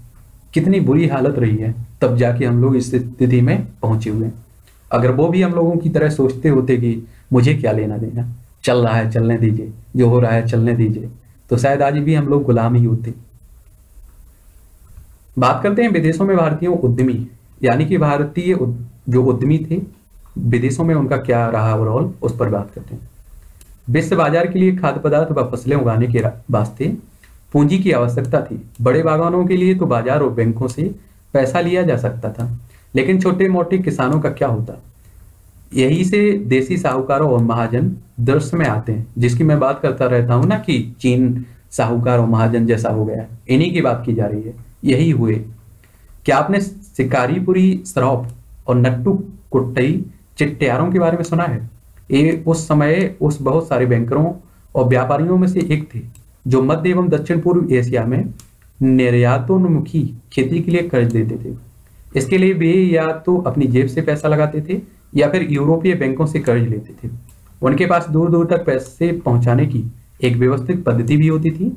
यहाँ तक कि उन्होंने व्यवसायिक संगठनों और क्रियाकलापों के देशी स्वरूप भी स्वरूप भी विकसित कर लिए थे। आप लोगों को अभी भी देखते होंगे, आप लोग ग्रामीण क्षेत्रों में अगर जाते हैं तो आप अभी भी इस तरह की व्यवस्था देखते हैं साहूकारों की। अभी भी शोषण बराबर चल रहा है। समझ रहे हैं? अफ्रीका में यूरोपीय उपनिवेशकारों के पीछे पीछे भारतीय व्यापारी व महाजन भी जा पहुँचे। हैदराबादी सिंधी व्यापारी तो यूरोपीय उपनिवेशों से भी आगे तक जा निकले। 1860 के दशक से उन्होंने दुनिया भर के बंदरगाहों पर अपने बड़े बड़े एम्पोरियल खोल दिए। इन दुकानों में सैलानियों को आकर्षित स्थानीय और विदेशी चीज़ें भी मिलती थी। यह एक फलदा फूल फूलता कारोबार था, क्योंकि सुरक्षित और आरामदेह जलपोतों के आ जाने से सैलानियों की संख्या भी दिनों दिनों बढ़ रही थी, दिनों दिन बढ़ने लगी थी। अब बात करते हैं भारतीय व्यापार, उपनिवेशवाद और वैश्विक व्यवस्था के बारे में। भारत में पैदा होने वाले महीन कपास का यूरोपीय देशों को निर्यात किया जाता था, यानी कि जो आपके यहाँ महीन कपास हुआ करता था। अच्छा क्वालिटी का माना जाता था। और इसकी भारी, आप कह सकते हैं एक तरह से कि यूरोप के देशों में भारी इसकी आया, यानी कि मांग हुआ करती थी। तो इसे हम लोग भेजते थे। औद्योगिकरण के बाद ब्रिटेन में भी कपास का उत्पादन बढ़ने लगा था। इसी कारण वहाँ के उद्योगपतियों ने सरकार पर दबाव डाला कि वह कपास के आयात पर रोक लगाए और स्थानीय उद्योगों की रक्षा करे। फलस्वरूप, ब्रिटेन में आयातित कपड़ों पर सीमा शुल्क थोप दिए गए। वहाँ महीन कपास भारतीय कपास का आयात कम होने लगा। मैंने जो शुरू में बताया था ना कि आपको अनाज का उदाहरण दिया था कि हमारे यहाँ के किसानों को की सहायता करने के लिए उनकी सुरक्षा करने के लिए हम भी, भी इस तरह के कई कर लगा देते हैं शुल्क लगा देते हैं सीमा शुल्क लगा देते हैं। समझ रहे हैं? तो उसी समय की बात है कि जो भारत से कपास होता था ये वहाँ निर्यात होता था जो हमारे यहाँ के कपड़े वहाँ भेजे जाते थे ये बड़े सस्ते हुआ करते थे। और क्या हुआ? आपने बात के दिनों में देखा कि यूरोप में भी कपास का उत्पादन होने लगा। तो कपास का उत्पादन होने लगा तो वहाँ के किसानों का जो भी कपास उत्पादित करते थे, उसमें उत्पादन करने में कुछ ज़्यादा ही खर्च आता था। तो उन्होंने सरकार पर प्रेशर डाला, उससे हमारे यहाँ से जो आयात होता था, उस पर रोक लगा दी। ठीक है? ये आप चित्र देख रहे होंगे। देख रहा है? East India company house London का है। ईस्ट इंडिया कंपनी की दुनिया भर में चलने वाले कार्यों का केंद्र यही था। 19वीं शताब्दी की शुरुआत से ही ब्रिटिश कपड़ा उत्पादक दूसरे देशों में भी अपने कपड़े के लिए नए नए बाज़ार ढूँढने लगे थे। सीमा शुल्क की व्यवस्था के कारण ब्रिटिश बाजारों से बेदखल हो जाने के बाद भारतीय कपड़ों को दूसरे अंतर्राष्ट्रीय बाजारों में भी भारी प्रतिस्पर्धा का सामना करना पड़ा। यदि भारतीय निर्यात के आंकड़ों का अध्ययन करें तो पता चलता है कि सूती कपड़े के निर्यात में लगातार गिरावट की रुझान दिखाई देता है। सन 1800 के आसपास निर्यात में सूती कपड़े का प्रतिशत तीस था। जो 1815 में घटकर 15 प्रतिशत रह जाता है और 1870 तक आते आते ये अनुपात केवल तीन प्रतिशत रह जाता है। एक समय आप भी इतिहास में पढ़ते हैं आप लोग कि हमारे यहाँ का जो कपड़ा होता था, इसका कई देशों में इसकी मांग हुआ करती थी। लेकिन उसके बाद क्या देखा जाने लगा कि उस, उन देशों में भी इस तरह के कपड़े बनाए जाने लगे। तो हमारे हमारे देश से भी बेहतर क्वालिटी के कपड़े बनाए जाने लगे। तो जो हमारे देश के कपड़े थे, उन्हें रोक दिया गया। तो फिर भारत में किन चीज़ों का निर्यात किया गया? आंकड़ों के माध्यम से फिर एक नाटकीय कहानी सामने आई। निर्मित वस्तुओं का निर्यात घटना घटता जा रहा था। उतनी ही तेज़ी से कच्चे मालों का निर्यात बढ़ता जा रहा था। अब आप कह सकते हैं कि जैसे मान लीजिए कि अभी हम लोग जो भी बनी बनाई चीज़ें भेज रहे थे, उसे एक तरह से उनका निर्यात घट जाता है और कच्चे माल जो हमारे यहाँ था, उसका निर्यात बढ़ जाता है। अब हम उसे कच्चे माल भेजते हैं यहाँ से। 1812 से 1871 के बीच कच्चे कपास का निर्यात पाँच प्रतिशत से बढ़कर पैंतीस प्रतिशत, कितना? पैंतीस प्रतिशत तक पहुँच गया। कपड़ों की रंगाई के लिए इस्तेमाल होने वाले नील का भी कई दशक तक बड़े पैमाने पर निर्यात होता रहा, जैसा कि आपने पिछली कक्षा में पढ़ा हुआ कि 1820 के दशक से चीन को बड़ी मात्रा में अफीम का निर्यात भी किया जाने लगा। कुछ समय तक तो भारतीय निर्यात में अफीम का हिस्सा ही सबसे ज़्यादा रहा है। ब्रिटेन की सरकार भारत में अफीम की खेती करवाती थी उसे चीन को निर्यात कर देती थी। अफीम के निर्यात से जो पैसा मिलता था, उसके बदले चीन से ही चाय, दूसरे पदार्थों का भी आयात करती थी। अब आप समझ सकते हैं कि जो यूरोपीय कंपनियाँ थी या यूरोपीय शक्तियाँ थी, उन्हें पैसा वहाँ से लाने की या सोना चांदी लाने की ज़रूरत नहीं पड़ती थी। वो यही व्यापार करते थे, यही कमाते थे और यहीं से जो प्रॉफिट था, उसे भी बेचते थे और जो भी बाकी की जरूरतें थी, उसे भी पूरी करते थे। इसमें एक और देखा गया। कि आपने देखा होगा कि अठारह सॉरी 1917 में आपके देश में चंपारण सत्याग्रह होता है। गांधी की छवि यहीं से उभर के आती है। तो ये भी उसी समय की घटना है। ये मतलब एक तरह से किसानों पर मतलब ज़बरदस्ती के लाद दिया गया था कि आपको नील की खेती करनी है, या कोई और भी फ़सल का जो भी अंग्रेज़ों के हिसाब से अच्छी थी, उन्हें मतलब आपको करनी है। तो आपने देखा उसके बाद कई तरह के इसके विद्रोह भी हुए हैं। ये आप देख रहे होंगे चित्र साहब चित्र अठारह सूरत और उसके साथ बहने वाली नदी का दूर से दिखने वाला दृश्य सत्रहवीं सदी के दौरान और अठारहवीं सदी के दौरान शुरुआती सालों में सूरत पश्चिमी भारत से होने वाले समुद्री व्यापार का मुख्य केंद्र हुआ करता था। उन्नीसवीं शताब्दी में भारतीय बाजारों में ब्रिटिश औद्योगिक उत्पादों की बाढ़ ही आ गई। भारत से ब्रिटेन और शेष विश्व को भेजे जाने वाले खाद्यान्न व कच्चे मालों के निर्यात में इजाफा हुआ। ब्रिटेन से जो माल भारत भेजा जाता था, उसकी कीमत भारत से ब्रिटेन भेजे जाने वाले, माल की कीमत से बहुत ज़्यादा होती थी। भारत के साथ ब्रिटेन हमेशा व्यापार अधिशेष की अवस्था में ही रहता था। इसका मतलब है कि आपसी व्यापार में हमेशा ब्रिटेन को ही को ही फ़ायदा रहता था। जैसा आज हम लोग चीन के साथ देख रहे हैं कि आज आप चीन को सबसे ज़्यादा फ़ायदा देखते हैं। हमारा यानी कि नकारात्मक है। आप अगर चीन से सौ रुपए का कोई सामान खरीद रहे हैं तो हम केवल आठ से दस रुपए का ही निर्यात कर रहे हैं, चीन को बेच रहे हैं। तो आप समझ सकते हैं कि नब्बे रुपए का घाटा देखा जाता है। तो एक समय यही आपका यूरोप के साथ भी देखा जाता था। ब्रिटेन इस मुनाफे के सहारे दूसरे देशों के साथ होने वाले व्यापारिक घाटे की भरपाई कर लेता था। बहुपक्षीय बंदोबस्त ऐसे ही काम करता था। इसमें एक देश के मुकाबले दूसरे देश में होने वाले घाटे की भरपाई किसी तीसरे देश के साथ व्यापार में मुनाफा कमाकर की जाती है। ब्रिटेन के घाटी की भरपाई में मदद देते हुए भारत ने उन्हें भारत ने 19वीं सदी की विश्व अर्थव्यवस्था का रूप तय करने में एक अहम भूमिका भी अदा की है। ब्रिटेन के व्यापार से जो अधिशेष हासिल होता था, उससे तथाकथित होम चार्जेस, देसी खर्चे का निपटारा होता था। इसके तहत बितानी अफसरों और व्यापारियों द्वारा अपने घर भेजी गई निजी रकम भारतीय बाहरी कर्जे पर ब्याज और भारत में काम कर चुके बेतानी अफसरों की पेंशन शामिल थी। बहुत बुरी स्थिति रहती थी। आप सोचिए, जो हमारे यहाँ, जो भी अंग्रेज़ रहते थे, उनका भी खर्च हमारे यहाँ की जो अर्थव्यवस्था थी, उसी से उठाया जाता था। समझ रहे हैं आप सत्रहवीं सदी के अंत में भारत को शेष विश्व में से जोड़ने वाले व्यापारिक मार्ग थे। ये हमारा प्यारा भारत है। या आपको यूरोप भी दिख रहा होगा। ऊपर आपका एशिया है और ये आपका ऑस्ट्रेलिया है। ये आप देख रहे होंगे, मद्रास, मछली मछली पट्टनम मद्रास, गोवा, सूरत। ये आपका ऊपर लाहौर, पाकिस्तान में अभी तो करंट में है। ये आपका हिंद महासागर हो गया। ठीक है, मस्कट, फारस की खाड़ी, लाल सागर, ये यूरोप के रास्ते थे। मोजाम्बिक, ठीक है? ये आपका मलक्का जल संधि यहाँ हुआ करती थी। ये आपका ऊपर चाइना, ऐसे होते हुए व्यापार की बात की जा रही है। ठीक है?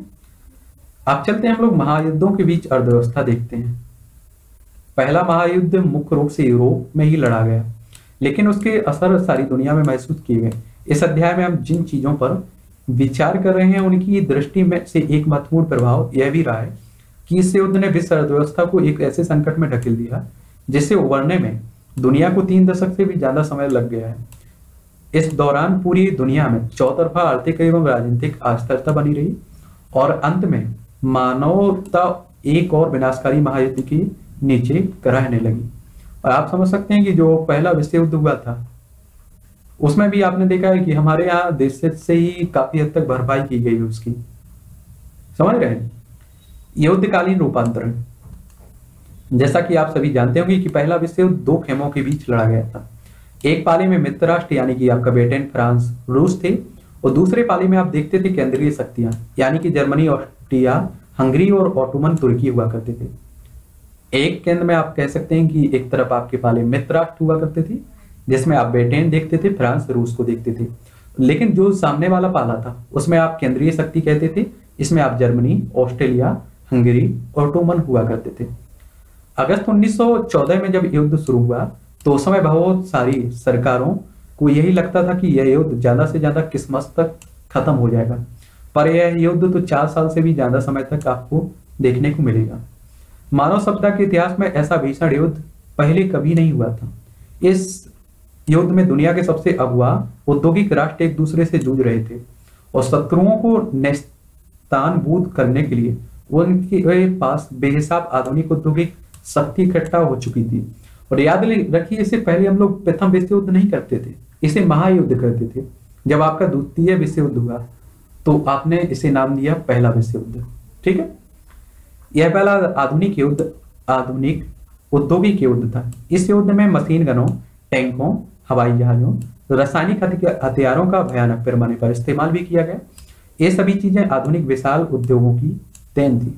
युद्ध के लिए दुनिया भर से असंख्य सिपाहियों की भर्ती भी की जाने लगी थी और उन्होंने विशाल जल पोतों रेलगाड़ियों में भरकर युद्ध के मोर्चों पर ले जाया जाने था। इस युद्ध में मौत और विनाश की जैसी विभिष्का रची उसकी औद्योगिक युग से पहले और औद्योगिक शक्ति के बिना कल्पना नहीं की जा सकती थी। युद्ध में नब्बे लाख से ज़्यादा लोग मारे गए और दो करोड़ लोग घायल हुए। ये आप समझिए कि सरकारी आंकड़े हैं। हकीकत में क्या होता है, आप भी जानते हैं। और आपने सुना होगा गांधी जी भी इसी समय भारत लौटते हैं और गांधी जी भी कहते हैं, लोगों को शामिल करने के लिए भी यात्राएँ भी करते हैं और यूरोप का साथ देने की भी बात करते हैं। क्योंकि गांधी जी को लगता था कि यूरोप युद्ध, विश्व युद्ध खत्म होने के बाद, ये महायुद्ध खत्म होने के बाद, हो सकता है कि आज़ादी हमें मिल जाए। लेकिन बाद में देखा कि अंग्रेज़ किस तरह से पलट गए, उन्होंने कोई छूट नहीं दी हमें। ठीक है? मृतकों और घायलों में से ज़्यादातर कामकाजी उम्र के लोग थे। इस महाविनाश के कारण यूरोप में कामकाज के लायक लोगों की बहुत संख्या कम रही। परिवार के सदस्य घट जाने से युद्ध के बाद परिवारों की आय भी गिर गई और युद्ध संबंधी सामग्री का उत्पादन करने के लिए उद्योगों का पुनर्गठन भी किया गया। उद्योगों की जरूरतों के मद्देनजर पूरे समाज में को बदल दिया। मर्द मोर्चे पर जाने लगे तो उन कामों को संभालने के लिए घर की औरतों को बाहर आना पड़ा, जिन्हें अब तक केवल मर्दों का ही काम माना जाता था। मर्द, आप कह सकते हैं कि एक तरह से आप भी जानते हैं कि जब घर से मर्द चले जाते होंगे, पुरुष तो महिलाओं को वो काम करना पड़ता था, जो पहले महिलाएँ करती थी। इस पिक्चर्स को आप देख रहे होंगे सर। प्रथम विश्व युद्ध के दौरान एक हथियार फैक्ट्री में काम करते मजदूर हैं। युद्ध की जरूरतों को पूरा करने के लिए हथियारों के उत्पादन में तेज़ी से इजाफा हुआ, यानी कि समय उत्पादन कुछ ज़्यादा ही देखने को मिला। युद्ध के कारण दुनिया की कुछ सबसे शक्तिशाली आर्थिक ताकतों के बीच आर्थिक संबंध टूट गए। अब वे देश एक दूसरे से बदला लेने पर उतारू थे। इस युद्ध के लिए ब्रिटेन को अमेरिकी बैंकों और अमेरिकी जनता से भारी कर्ज लेना पड़ा। फलस्वरूप इस युद्ध में अमेरिका को कर्जदार की वजह कर्जदाता देश बना दिया। यानी कि आप कह सकते हैं कि दूसरे को कर्ज देने वाला क्या कहलाता था? कर्जदाता। जो लेता है वो कर्जदार कहलाने लगता है। कहने का असर है कि युद्ध के बाद दूसरे देशों में अमेरिका व उसके नागरिकों की संपत्तियों की कीमत अमेरिका में दूसरे देशों की सरकारों या फिर उन नागरिकों के स्वामित्व अथवा नियंत्रण वाली संपदाओं से कहीं ज़्यादा हो चुकी थी। अब बात करते हैं युद्धोत्तर सुधार। युद्ध के बाद आर्थिक स्थिति को पटरी पर लाने का रास्ता काफ़ी मुश्किल साबित हुआ। युद्ध से पहले ब्रिटेन दुनिया की सबसे बड़ी अर्थव्यवस्था था। युद्ध के बाद सबसे लंबा संकट उसे ही झेलना पड़ा। जिस समय ब्रिटेन युद्ध से जूझ रहा था, उसी समय भारत और जापान में उद्योग विकसित होने लगी थी। युद्ध के बाद भारतीय बाज़ार में पहले वाली वर्चस्वशाली स्थिति प्राप्त करना ब्रिटेन के लिए बहुत मुश्किल भी हो गया था। अब उसे जापान से भी मुकाबला करना था। सो अलग युद्ध के खर्चों की भरपाई करने के लिए ब्रिटेन ने अमेरिका से जमकर कर्ज लिए थे। इसका परिणाम यह हुआ कि युद्ध खत्म होने तक ब्रिटेन भारी विदेशी कर्जों में दब चुका था। युद्ध के कारण आर्थिक उछाल उछाए का माहौल पैदा हो गया था, क्योंकि मांग उत्पादन और रोजगारों में भारी इजाफा भी हुआ था। पर जब युद्ध के कारण पैदा हुआ, उछाल शांत होने लगा तो उत्पादन गिरने लगा और बेरोजगारी भी बढ़ने लगी। दूसरी ओर सरकार ने भारी भरकम युद्ध संबंधी व्यय में भी कटौती शुरू कर दी, ताकि शांतिकालीन करों के सहारे ही उनकी भरपाई की जा सकी। सके इन सारे प्रयासों से रोज़गार भारी तादाद में खत्म भी हो गया। 1921 में हर पाँच में से एक ब्रिटिश मजदूर के पास काम नहीं था। रोज़गार के बारे में बेचैनी और अनिश्चितता युद्धोत्तर वातावरण का अंग बनी। युद्ध के बाद की बात की जा रही है। और याद रखिए, भारत में भी उसकी स्थिति वो नहीं रही जो युद्ध से पहले थी। आप समझिए, गांधी जी भी साथ दे रहे थे, उन्होंने भी साथ छोड़ दिया। आप जानते हैं, उसके बाद कई तरह के आंदोलन भी चलाए गए भारत में। बहुत सारी कृषि आधारित अर्थव्यवस्थाएँ भी संकट में थी। उदाहरण के लिए गेहूँ, उत्पादकों की हालत पर भी, पर ही विचार कीजिए। युद्ध से पहले पूर्वी यूरोप, विश्व बाज़ार में गेहूँ की आपूर्ति करने वाला एक बड़ा केंद्र था। युद्ध के दौरान यह आपूर्ति अस्त व्यस्त हुई तो कनाडा, अमेरिका और ऑस्ट्रेलिया में गेहूँ की पैदावार अचानक बढ़ने लगी। लेकिन जैसे ही युद्ध समाप्त हुआ तो पूर्वी यूरोप में गेहूँ की पैदावार सुधरने लगी और विश्व बाजारों में गेहूँ की अति के हालात पैदा हुए अनाज की कीमतें गिर गई, ग्रामीण आय कम हो गई और किसाने किसान गहरे संकट में फंस गए। ये सभी आपकी समझती कि युद्ध के बाद की स्थिति बन रही है। अब बात करते हैं बड़े पैमाने पर उत्पादन और उपभोग। अमेरिका में सुधार की गति तेज रही। यह हम पहले ही देख चुके हैं। कि युद्ध से अमेरिका की अर्थव्यवस्था में को कितना फ़ायदा हुआ। आप समझ रहे हैं कि यूरोप को तो नुकसान हुआ, लेकिन अमेरिका को फ़ायदा हुआ। और इसी का प्रभाव आपने आगे भी चलकर देखा कि अमेरिका की आज़ादी पर भी आप देखते रहते हैं कि अमेरिका आज़ाद होने के बाद कई तरह से भी सक्षम भी था इस तरह का कर्ज देने में। वो आप समझिए कि इसी समय से अमेरिका महाशक्ति बनने की होड़ में खड़ा हुआ। समझ रहे हैं आप लोग? हर युद्ध में अमेरिका को बढ़त ही मिली है। युद्ध के बाद कुछ समय के लिए तो अमेरिकी अर्थव्यवस्था को भी झटका लगा। लेकिन 20 के दशक के शुरुआती सालों से ही अमेरिकी अर्थव्यवस्था तेज़ी से तरक्की के रास्ते बढ़ने लगी है। 1920 के दशक की अमेरिकी अर्थव्यवस्था एक बड़ी खासियत थी कि बेहद उत्पादन का चलन, बेहद उत्पादन की ओर बढ़ने का सिलसिला तो 19वीं सदी के आखिर में ही शुरू हो चुका था। लेकिन 1920 1920 के दशक में तो यह अमेरिकी औद्योगिक उत्पादन की विशेषता ही बन गया था। कार निर्माता हेनरी फोर्ड बेहद उत्पादन के विख्यात प्रेरिता थे। उन्होंने उन्होंने शिकागो के एक पूचड़ खाने की असेंबली लाइन की तर्ज पर डिट्रॉयट की अपने कारखाना में भी आधुनिक असेंबली लाइन स्थापित की थी। शिकागो के बूचड़ खानों में मरे हुए जानवरों को एक कन्वेयर बेल्ट पर रख दिया जाता था और उसके दूसरे सिरे पर सिरे पर खड़े मांस विक्रेता अपने हिस्से का मांस उठाकर निकल जाते थे।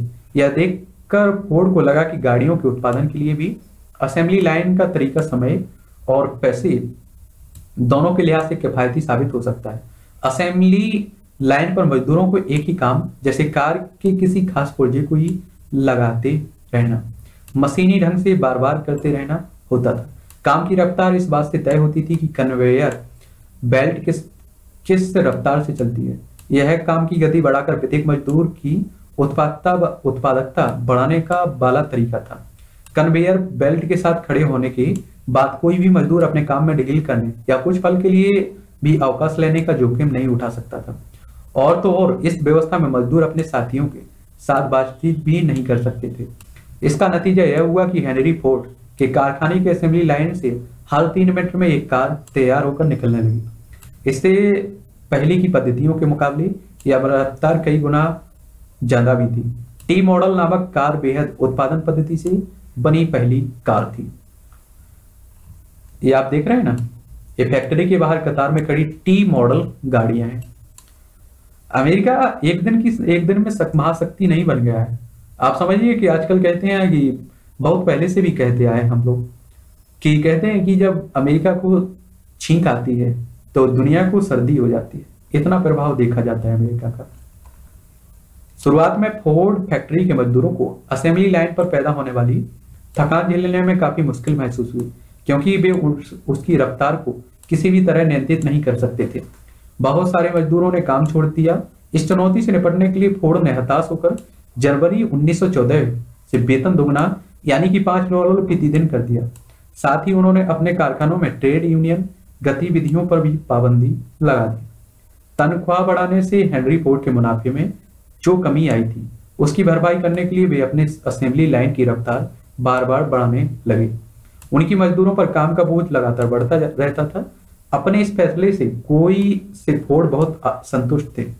कुछ समय बाद उन्होंने कहा कि लागत कम करने के लिए अपनी ज़िंदगी में उन्होंने इससे अच्छा फैसला कभी नहीं किया अब आप सोचिए कि पहले एक कार को बनाने में कई दिन का टाइम लग जाता होगा। अब आप समझ सकते हैं कि तीन मिनट में एक कार बनकर निकल रही है। तो इससे फ़ायदा और इससे कम बचत का, कोई समय का बचत का आप और लागत भी। आप सोचिए कि जितना कोई भी परियोजना को भी आप ले लीजिए कि आप उसमें काम करने में जितना टाइम लगाएँगे, उतना ही खर्च आता रहता है। ठीक है? फोर्ड द्वारा बनाई गई उत्पादन पद्धतियों को जल्दी पूरे अमेरिका में अपनाया जाने लगा। बीस के दशक में ही यूरोप में उनकी नकल की जाने लगी। बहुत बहुत उत्पादन पद्धति से इंजीनियरिंग आधारित चीज़ों को लागत और कीमत में कमी ला दी। बेहतर वेतन के चलते अब बहुत सारे मजदूर भी काम, कार जैसी टिकाऊ उपभोक्ता वस्तुएँ खरीद सकते थे। 1919 में अमेरिका में 20 लाख कारों का उत्पादन होता था, जो उन्नीस में बढ़कर 50 लाख कार प्रति वर्ष से भी ऊपर जा पहुँचा। आप समझिए कि उस समय हमारे भारत में इस तरह के आदमी सोच भी नहीं रखता होगा। समझ रहे हैं? उस समय आप अमेरिका को सोच सकते हैं। और आज हम लोग किस तरह से हमें बहुत कुछ बदलाव करने होंगे। तब जाकर हम इन देशों में, विकसित देशों में जाकर खड़े हो सकते हैं। समझ हैं आप लोग? इसके साथ ही बहुत सारे लोग fridge washing machine radio gramophone players आदि भी खरीदने लगे। ये सब चीज़ें हायर परचेज व्यवस्था के तहत खरीदी जाती थी।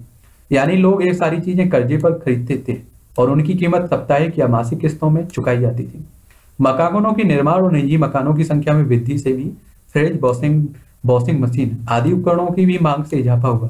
उल्लेखनीय है कि घरों का निर्माण या खरीदारी भी कर्जे पर ही की जाती थी। आप समझ सकते हैं कि आज हम लोग वॉशिंगटन टीवी इस तरह के रेडियो आज हम लोग यूज़ कर रहे हैं। और आप समझिए कि 1920 या फिर आपका 29 के बीच की घटना है, अमेरिका में घटने लगी। 1920 के दशक में आवास एवं निर्माण क्षेत्र में आय उछाल से अमेरिकी संपन्नता का आधार पैदा हो चुका था। मकानों के निर्माण और घरेलू जरूरतों की चीज़ों में निवेश से रोज़गार की मांग बढ़ती थी तो दूसरी ओर उपभोग भी बढ़ता था। बढ़ते उपभोग के लिए और ज़्यादा निवेश की ज़रूरत थी, जिससे और नए रोज़गार व आमदनी में वृद्धि होने लगी थी। एक बात और आपको बताऊँ, अगर हम अपने ही देश में ले लीजिए, अगर आप सोचिए, आज अगर हम लोग रोज़गार बढ़ा दें, रोज़गार की इस तरह से व्यवस्था कर दें तो कल हमारे बाजारों में उछाल आ जाएगी। उत्पादन यानी कि मांग भी बढ़ने लगेगी। मांग बढ़ेगी तो आप सामान्य सी बात है कि उत्पादन भी बढ़ाएँगे तो ये व्यवस्था देखने को मिलेगी। समझ रहे हैं? जब हम लोग बेरोजगार है, हमारे पास पैसा ही नहीं होगा तो हम खरीदेंगे क्या? आप सोचिए आगे अगर आपके पास पैसा है तो आप हर तरह की वस्तु खरीदने की कोशिश करेंगे। समझ रहे हैं? 1923 में अमेरिका शेष विश्व को पूंजी का निर्यात दोबारा करने लगा। वह दुनिया में सबसे बड़ा करदाता देश बन गया। अमेरिका द्वारा आयात और पूंजी निर्यात ने यूरोपीय अर्थव्यवस्थाओं को भी संकट से उबरने में मदद दी। अगले छह साल में विश्व व्यापार व आय वृद्धि दर में काफ़ी सुधार भी आया। लेकिन यह स्थिति लंबे समय तक कायम नहीं रही। उन्नीस तक आते आते दुनिया एक ऐसे आर्थिक संकट में फंस गई, जिसका दुनिया ने पहले कभी अनुभव नहीं किया था। आप भी जानते हैं कि उन्नीस की संकट के बारे में। ये आपका चित्र देख रहे होंगे बाईस। महामंदी के दौरान एक आप्रवासी खेत मजदूर का बेघर और भूखा परिवार 1936 की बात है। Library of Congress print and photograph से डिवीज़न से लिया गया यह चित्र लेने वाली डोरोथी लेंग, लेंग ने इस भूखी माँ के साथ अपनी मुलाकात के क्षणों को याद करते हुए बहुत साल बाद कहा था कि मैं इस भूखी लाचार औरत को देखा और मानो किसी चुम्बक से खिंची मैं उसकी ओर बढ़ने चली गई बढ़ती चली गई। मैंने ना तो उसका नाम पूछा ना ही उसके अतीत के बारे में सवाल किया। उससे मुझे अपनी उम्र बताई। उसने कहा कि उसकी उम्र पैंतीस साल की है। उसने कहा कि वे लोग यानी माँ उसके सात बच्चे हैं। आसपास के खेतों में जाड़ों से जमी पड़ी सब्जियों परिंदों के सहारे ज़िंदा हैं, जिन्हें उनके बच्चे मार लाते हैं। वो वहाँ बैठी थी, अपने बच्चों को चिपटाए। शायद उसे लगता था कि मेरी तस्वीर उसकी कोई मदद कर सकती है, इसलिए उसने मेरी मदद कर दी। पॉपुलर फोटोग्राफी फरवरी 1960 में ये पॉपुलर रही है। समझ रहे हैं? चलते हैं महामंदी की बात कर लेते हैं। आर्थिक महामंदी की शुरुआत उन्नीस सौ उनतीस से, उन्नीस से हुई और यह संकट 30 के दशक के मध्य तक बना रहा। इस दौरान दुनिया के ज़्यादातर हिस्सों के उत्पादन, रोज़गार, आय और व्यापार में भयानक गिरावट देखी गई। इस मंदी का समय और असर सब देशों में एक जैसा नहीं था, लेकिन आमतौर पर ऐसा माना जा सकता है कि कृषि क्षेत्रों और समुदायों पर इसका सबसे बुरा असर पड़ा है। ऐसा इसलिए हुआ था क्योंकि औद्योगिक औद्योगिक उत्पादों की तुलना में खेती हर उत्पादों की कीमतों में ज़्यादा भारी और ज़्यादा समय तक कमी बनी रही। इस महामंदी के कई कारण थे, यह हम पहले ही देख चुके हैं कि युद्धोत्तर विश्व अर्थव्यवस्था कितनी कमज़ोर थी, यानी कि युद्ध की बात की स्थिति बता पहला कारण था कि कृषि क्षेत्र में अति उत्पादन की समस्या बनी हुई थी। कृषि उत्पादों की गिरती कीमतों के कारण स्थिति और खराब हो गई थी। कीमतें गिरी और किसानों की आय घटने लगी। तो आमदनी बढ़ाने के लिए किसान उत्पादन बढ़ाने का प्रयास करने लगे ताकि कम कीमत पर ही सही लेकिन ज़्यादा माल पैदा करके वे अपना स्तर बढ़ाए रखें। आप ही जानते हैं कि आप सोचिए कि आप किसी खेत के एक के मालिक हैं। उसमें खेत में आप सोचिए कि दस किलो गेहूँ होता था। पहले आप, पहले आपको दस रुपए किलो बिक जाता था वो। लेकिन अब क्या हुआ कि पाँच रुपए किलो बिकने लगा। तो आपको अपनी आय तो बराबर रखनी है या आय तो बढ़ानी है। आपका खर्च तो दस मतलब दस किलो गेहूँ के पहले वाला रेट से ही चल रहा था। तो आप क्या करेंगे, कुछ इस तरह की व्यवस्था करेंगे कि उत्पादन बढ़ाने की बात करेंगे? कि कहीं ऐसा हो कि अब दस किलो होता था तो पंद्रह किलो होने लगे, या फिर बीस किलो होने लगे। तो इसी तरह का किसानों ने भी प्रयास किया। फलस्वरूप बाज़ार में कृषि उत्पादों की आमद और भी बढ़ गई। ज़ाहिर की कीमतें और नीचे चली गई। खरीदारों के अभाव में कृषि उपज पड़ी पड़ी सड़ने लगी। एक, बताया नहीं कि आप लोगों से एल पढ़ोगे तो बहुत कुछ सीखने को मिलेगा। आप सिविल सर्विस की तैयारी कर रहे हो या नहीं? मुझे लगता है ज़िंदगी में बहुत कुछ स्थिति है। अब आप देखिए, आपने देखा होगा, मांग और सप्लाई और डिमांड का एक कॉन्सेप्ट सुना होगा, मांग और आपूर्ति। अब आपूर्ति जहाँ मतलब ज़्यादा हो जाए और मांग कम हो जाए तो आप जानते हैं कि स्वाभाविक सी बात है कि रेट गिरेंगे। तो यहाँ यही देखा गया है कि कृषि उत्पादों की मतलब बढ़ गई, कृषि उत्पाद बढ़ गए। जहाँ खरीदने वाले थे सौ किलो, आप पहुंचिए, वहाँ पहुँच जाए हज़ार किलो, और खरीदने वाले भी कम हो जाए तो क्या होगा कि कीमत घट जाएगी और बुरी स्थिति हो जाएगी किसानों की। दूसरा कारण था कि 1920 के दशक के मध्य में बहुत सारे देशों ने अमेरिका से कर्जे लेकर अपनी निवेश संबंधी जरूरतों को पूरा किया था। जब हालात अच्छे थे तो अमेरिका ने कर्ज, कर्जा जुटाना बहुत आसान था, लेकिन संकट का संकेत मिलते ही अमेरिकी उद्यमियों के होश उड़ गए। 1928 के पहले छह माह तक विदेशों में अमेरिका का कर्जा एक अरब डॉलर था। साल भर के भीतर यह कर्जा घटकर केवल चौथाई रह गया था। जो देश अमेरिकी कर्जे पर सबसे ज़्यादा निर्भर थे, उसके सामने गहरा संकट खड़ा हुआ। भले ही सब देशों में एक जैसा प्रभाव न पड़ा हो लेकिन अमेरिकी पूंजी के लौट जाने से पूरी दुनिया पर असर ज़रूर पड़ा है। यूरोप में कई बड़े बैंक धराशायी हो गए। कई देशों की मुद्रा की कीमत बुरी तरह गिर गई और इस झटके से ब्रिटिश पाउंड भी नहीं बच पाए। लेटिन अमेरिका और अन्य स्थानों पर कृषि और कच्चे मालों की कीमतें तेज़ी से लुढ़कने लगी, यानी कि कम होने लगी। अमेरिकी सरकार इस महामंदिर से अपनी अर्थव्यवस्था को बचाने के लिए आयातित पदार्थों पर दो गुना सीमा शुल्क वसूल करने लगी। इस फैसले ने तो विश्व व्यापार की कमर ही तोड़ कर रख दी। ये आप पिक्चर देख रहे हैं ना? बेरोजगारी का लाभ के लिए कतार में खड़े लोग अमेरिका में। डोरोथी लैंग द्वारा लिया गया चित्र उन्नीस की बात है। Library of Congress prints and photographs division. जब एक बेरोजगारी जनगणना से पता चला कि देश में एक करोड़ से ज़्यादा लोगों के पास कोई कार, काम नहीं है तो अमेरिका के बहुत सारे राज्यों में स्थानीय प्रशासन की ओर से बेरोजगारों को छोटे छोटे भत्ते दिए जाने लगे। ये लंबी कतारें महामंदी के सालों में गरीबी और बेरोजगारी का प्रतीक थी। अभी भी आप लोग इस तरह का हमारे देश में सुनते रहते हैं कि सरकारें वादा करती रहती कि मैं आया तो गरीबी भत्ता दूँगा, बेरोजगारी भत्ता दूँगा। इस तरह की बातें फेंकते रहते हैं। औद्योगिक देशों में भी मंदी के सबसे बुरा असर अमेरिका को ही झेलना पड़ा। कीमतों में कमी और मंदी की आशंका को देखते हुए अमेरिकी बैंकों ने घरेलू कर्ज देना बंद कर दिया। जो कर्जे दिए जा चुके थे, उनकी वसूली तेज कर दी गई। किसान उपज नहीं बेच पा रहा था। थे, परिवार तबाह हो गए थे। कारोबार ठप पड़ गए। आमदनी में गिरावट आने पर अमेरिका के बहुत सारे परिवार कर्ज चुकाने में नाकाम नाकामयाब हो गए। जिससे चलते उनके मकान, कार और सारी जरूरतें चीज़ें कुरुक कर ली गई हैं। क्योंकि आप जानते हैं कि जब भी आप कर्ज नहीं दे पाते हैं तो इस तरह का काम आपके साथ भी किया जाता है। बीस के दशक में जो उपभोक्तावादी संपन्नता दिखाई दे रही थी, वह धूल के गुबार गुबार की तरह रातों रात काफूर हो गई, यानी कि समाप्त हो गई। बेरोजगारी बढ़ी तो लोग काम की तलाश में दूर दूर तक जाने लगे। आखिरकार अमेरिकी बैंकिंग व्यवस्था भी धराशायी हो गई।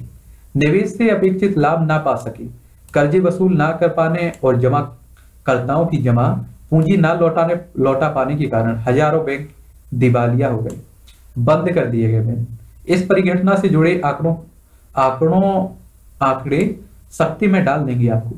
1933 तक चार हज़ार से ज़्यादा बैंक बंद हो चुकी थी। कितने? चार हज़ार से। उन्नीस से उन्नीस सौ बत्तीस के बीच तकरीबन एक लाख दस हज़ार कंपनियाँ चौबट हो चुकी थी। इस महामंदी का इतना बुरा प्रभाव देखा गया है। यद्यपि उन्नीस तक ज़्यादातर औद्योगिक देशों में आर्थिक संकट से उभरने के संकेत दिखाई देने लगे, लेकिन समाजों, अंतरराष्ट्रीय संबंधों, राजनीति तथा लोगों के दिलो दिमाग पर उसकी जो छाप पड़ी थी, वह जल्दी मिटने वाली नहीं थी। कोई भी समस्या हो, कोई भी इस तरह की आपदा आए तो आप देखते भी हैं कि कुछ समय के लिए इसका प्रभाव और आगे देखने को मिलता है समाजों पर। अगर भारत की स्थिति की बात करें, भारत और महामंदी को देखें, यदि हम इस बात पर ध्यान दें कि महामंदी से भारत पर क्या असर पड़ा तो इस बात को अच्छी तरह समझ सकते हैं कि बीसवीं सदी की शुरुआत तक वैश्विक अर्थव्यवस्था कितनी एकीकृत हो चुकी थी। दुनिया के एक हिस्से में पैदा होने वाले संकट की कप कपाहट बाकी हिस्सों तक पहुँच जाती थी और उससे दुनिया भर के लोगों की ज़िंदगी, अर्थव्यवस्थाएँ और समाज प्रभावित हो उठते थे। जैसा कि आप पीछे देख चुके हैं कि उपनिवेश से भारत कृषि वस्तुओं का निर्यातक और तैयार मालों का आयातक बन चुका था। महामंदिर ने भारतीय व्यापार को फ़ौरन प्रभावित किया और 1928 से 1934 के बीच देश के आयात निर्यात घटकर लगभग आधे रह गए थे। जब अंतरराष्ट्रीय बाज़ार में कीमतें गिरने लगी तो यहाँ भी कीमतें नीचे आ गई और 1928 से 1934 के बीच भारत में गेहूँ की कीमत 50 प्रतिशत गिर गई। 50 प्रतिशत गिर गई होगी तो आप हमारे के साथ देश के किसानों की स्थिति आप समझ सकते हैं, कितने बुरी तरह से प्रभावित हुए होंगे। शहरी निवासियों के मुकाबले किसानों और काश्तकारों को ज़्यादा नुकसान देखने को मिला है। उन पर ज़्यादा नुकसान इसका हुआ है। यद्यपि कृषि उत्पादों की कीमतें कीमत तेज़ी से नीचे गिरी, लेकिन सरकार ने लगान वसूल में छूट देने से साफ़ इनकार कर दिया। सबसे बुरी मार उन काश्तकारों पर पड़ी जो विश्व विश्व बाज़ार के लिए उपज पैदा करते थे। और आप एक तरह से कह सकते हैं कि जो किसानों से उगाही की जा रही थी, ऐसी बुरी स्थिति में भी, बुरे समय में भी तो इनका आंदोलनों में कुछ ज़्यादा ही प्रभाव देखा गया है। कि सभी एक लामबंद हुए, राष्ट्रभक्ति की यानी कि राष्ट्रवाद को बढ़ावा भी मिला इससे। बंगाल के जूट पटसन उत्पादकों को ही देखिए। बेकच्चा पटसन उगाते थे जिससे कारखानों में टाट की बोरियाँ बनाई जाती थी। जब टाट का निर्यात बंद हो गया तो कच्चे पटसन की कीमतें कीमतों में साठ प्रतिशत से भी ज़्यादा गिरावट आ गई है। जिन काश्तकारों ने दिन फिरने की उम्मीद में या फिर बेहतर आमदनी के लिए उपज बढ़ाने की वास्ते कर्ज ले लिए थे, उनकी हालत भी उपज का सही मोल ना मिलने के कारण खराब थी।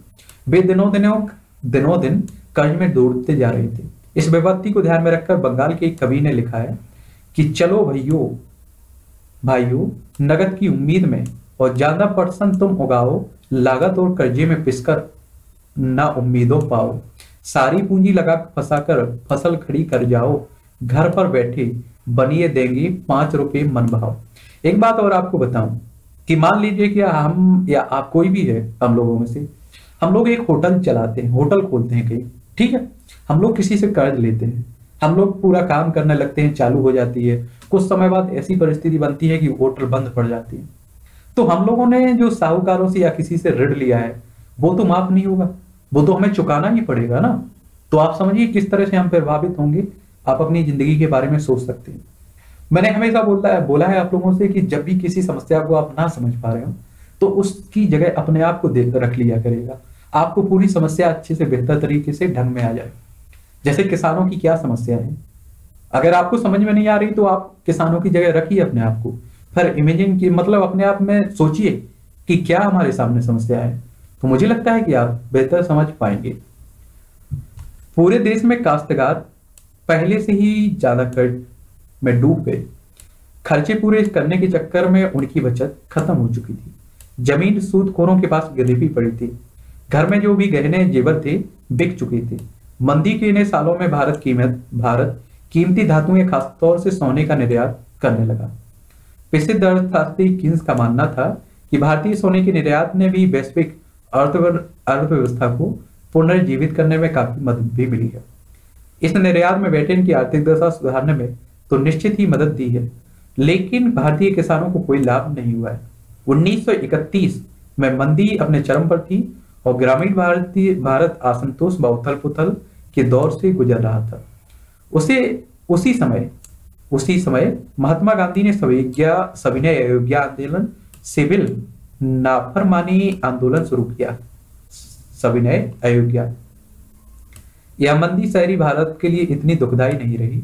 कीमतें गिरने, गिरते जाने के बावजूद शहरों में रहने वाले ऐसे लोगों की हालत ठीक नहीं, ठीक रही, जिनकी आय निश्चित थी, जिससे शहर में रहने वाले जमींदार जिन्हें अपनी ज़मीन पर बांधा, बंधाया भाड़ा मिलता था, या फिर मध्यवर्गीय वेतनभोगी कर्मचारी, राष्ट्रवादी खेमे के दबाव में उद्योगों की रक्षा के लिए सीमा शुल्क बढ़ा दिए गए।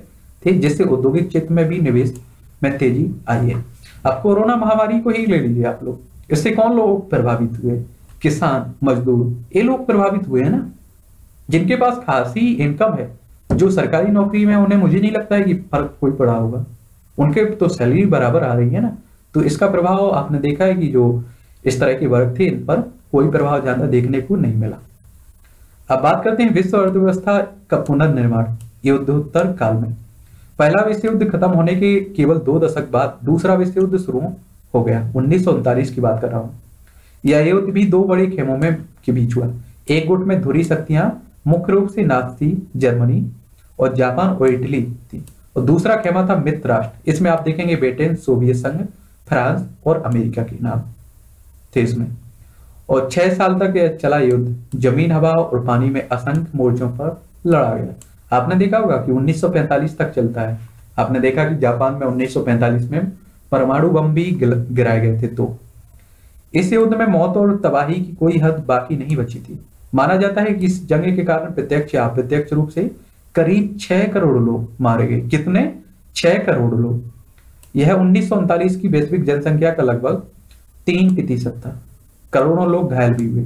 आप समझ सकते हैं कि जैसे सौ लोग उस समय थे, उनमें से आप समझिए तीन लोग मारे गए थे। इतनी बड़ी जनसंख्या मारी गई। अब तक युद्धों के मोर्चे पर मरने वालों की संख्या ज़्यादा होती थी। इस युद्ध में ऐसे लोग ज़्यादा मरे जो किसी मोर्चे पर लड़ ही नहीं रहे थे। यूरोप और एशिया के विशाल भूभाग तबाह हुए। कई शहर हवाई बमबारी या लगातार गोलाबारी के कारण मिट्टी में मिल गए। इस युद्ध में बेहिसाब आर्थिक और सामाजिक तबाही को जन्म दिया। ऐसे हालात में पुनर्निर्माण का काम कठिन और लंबा साबित होने लगा।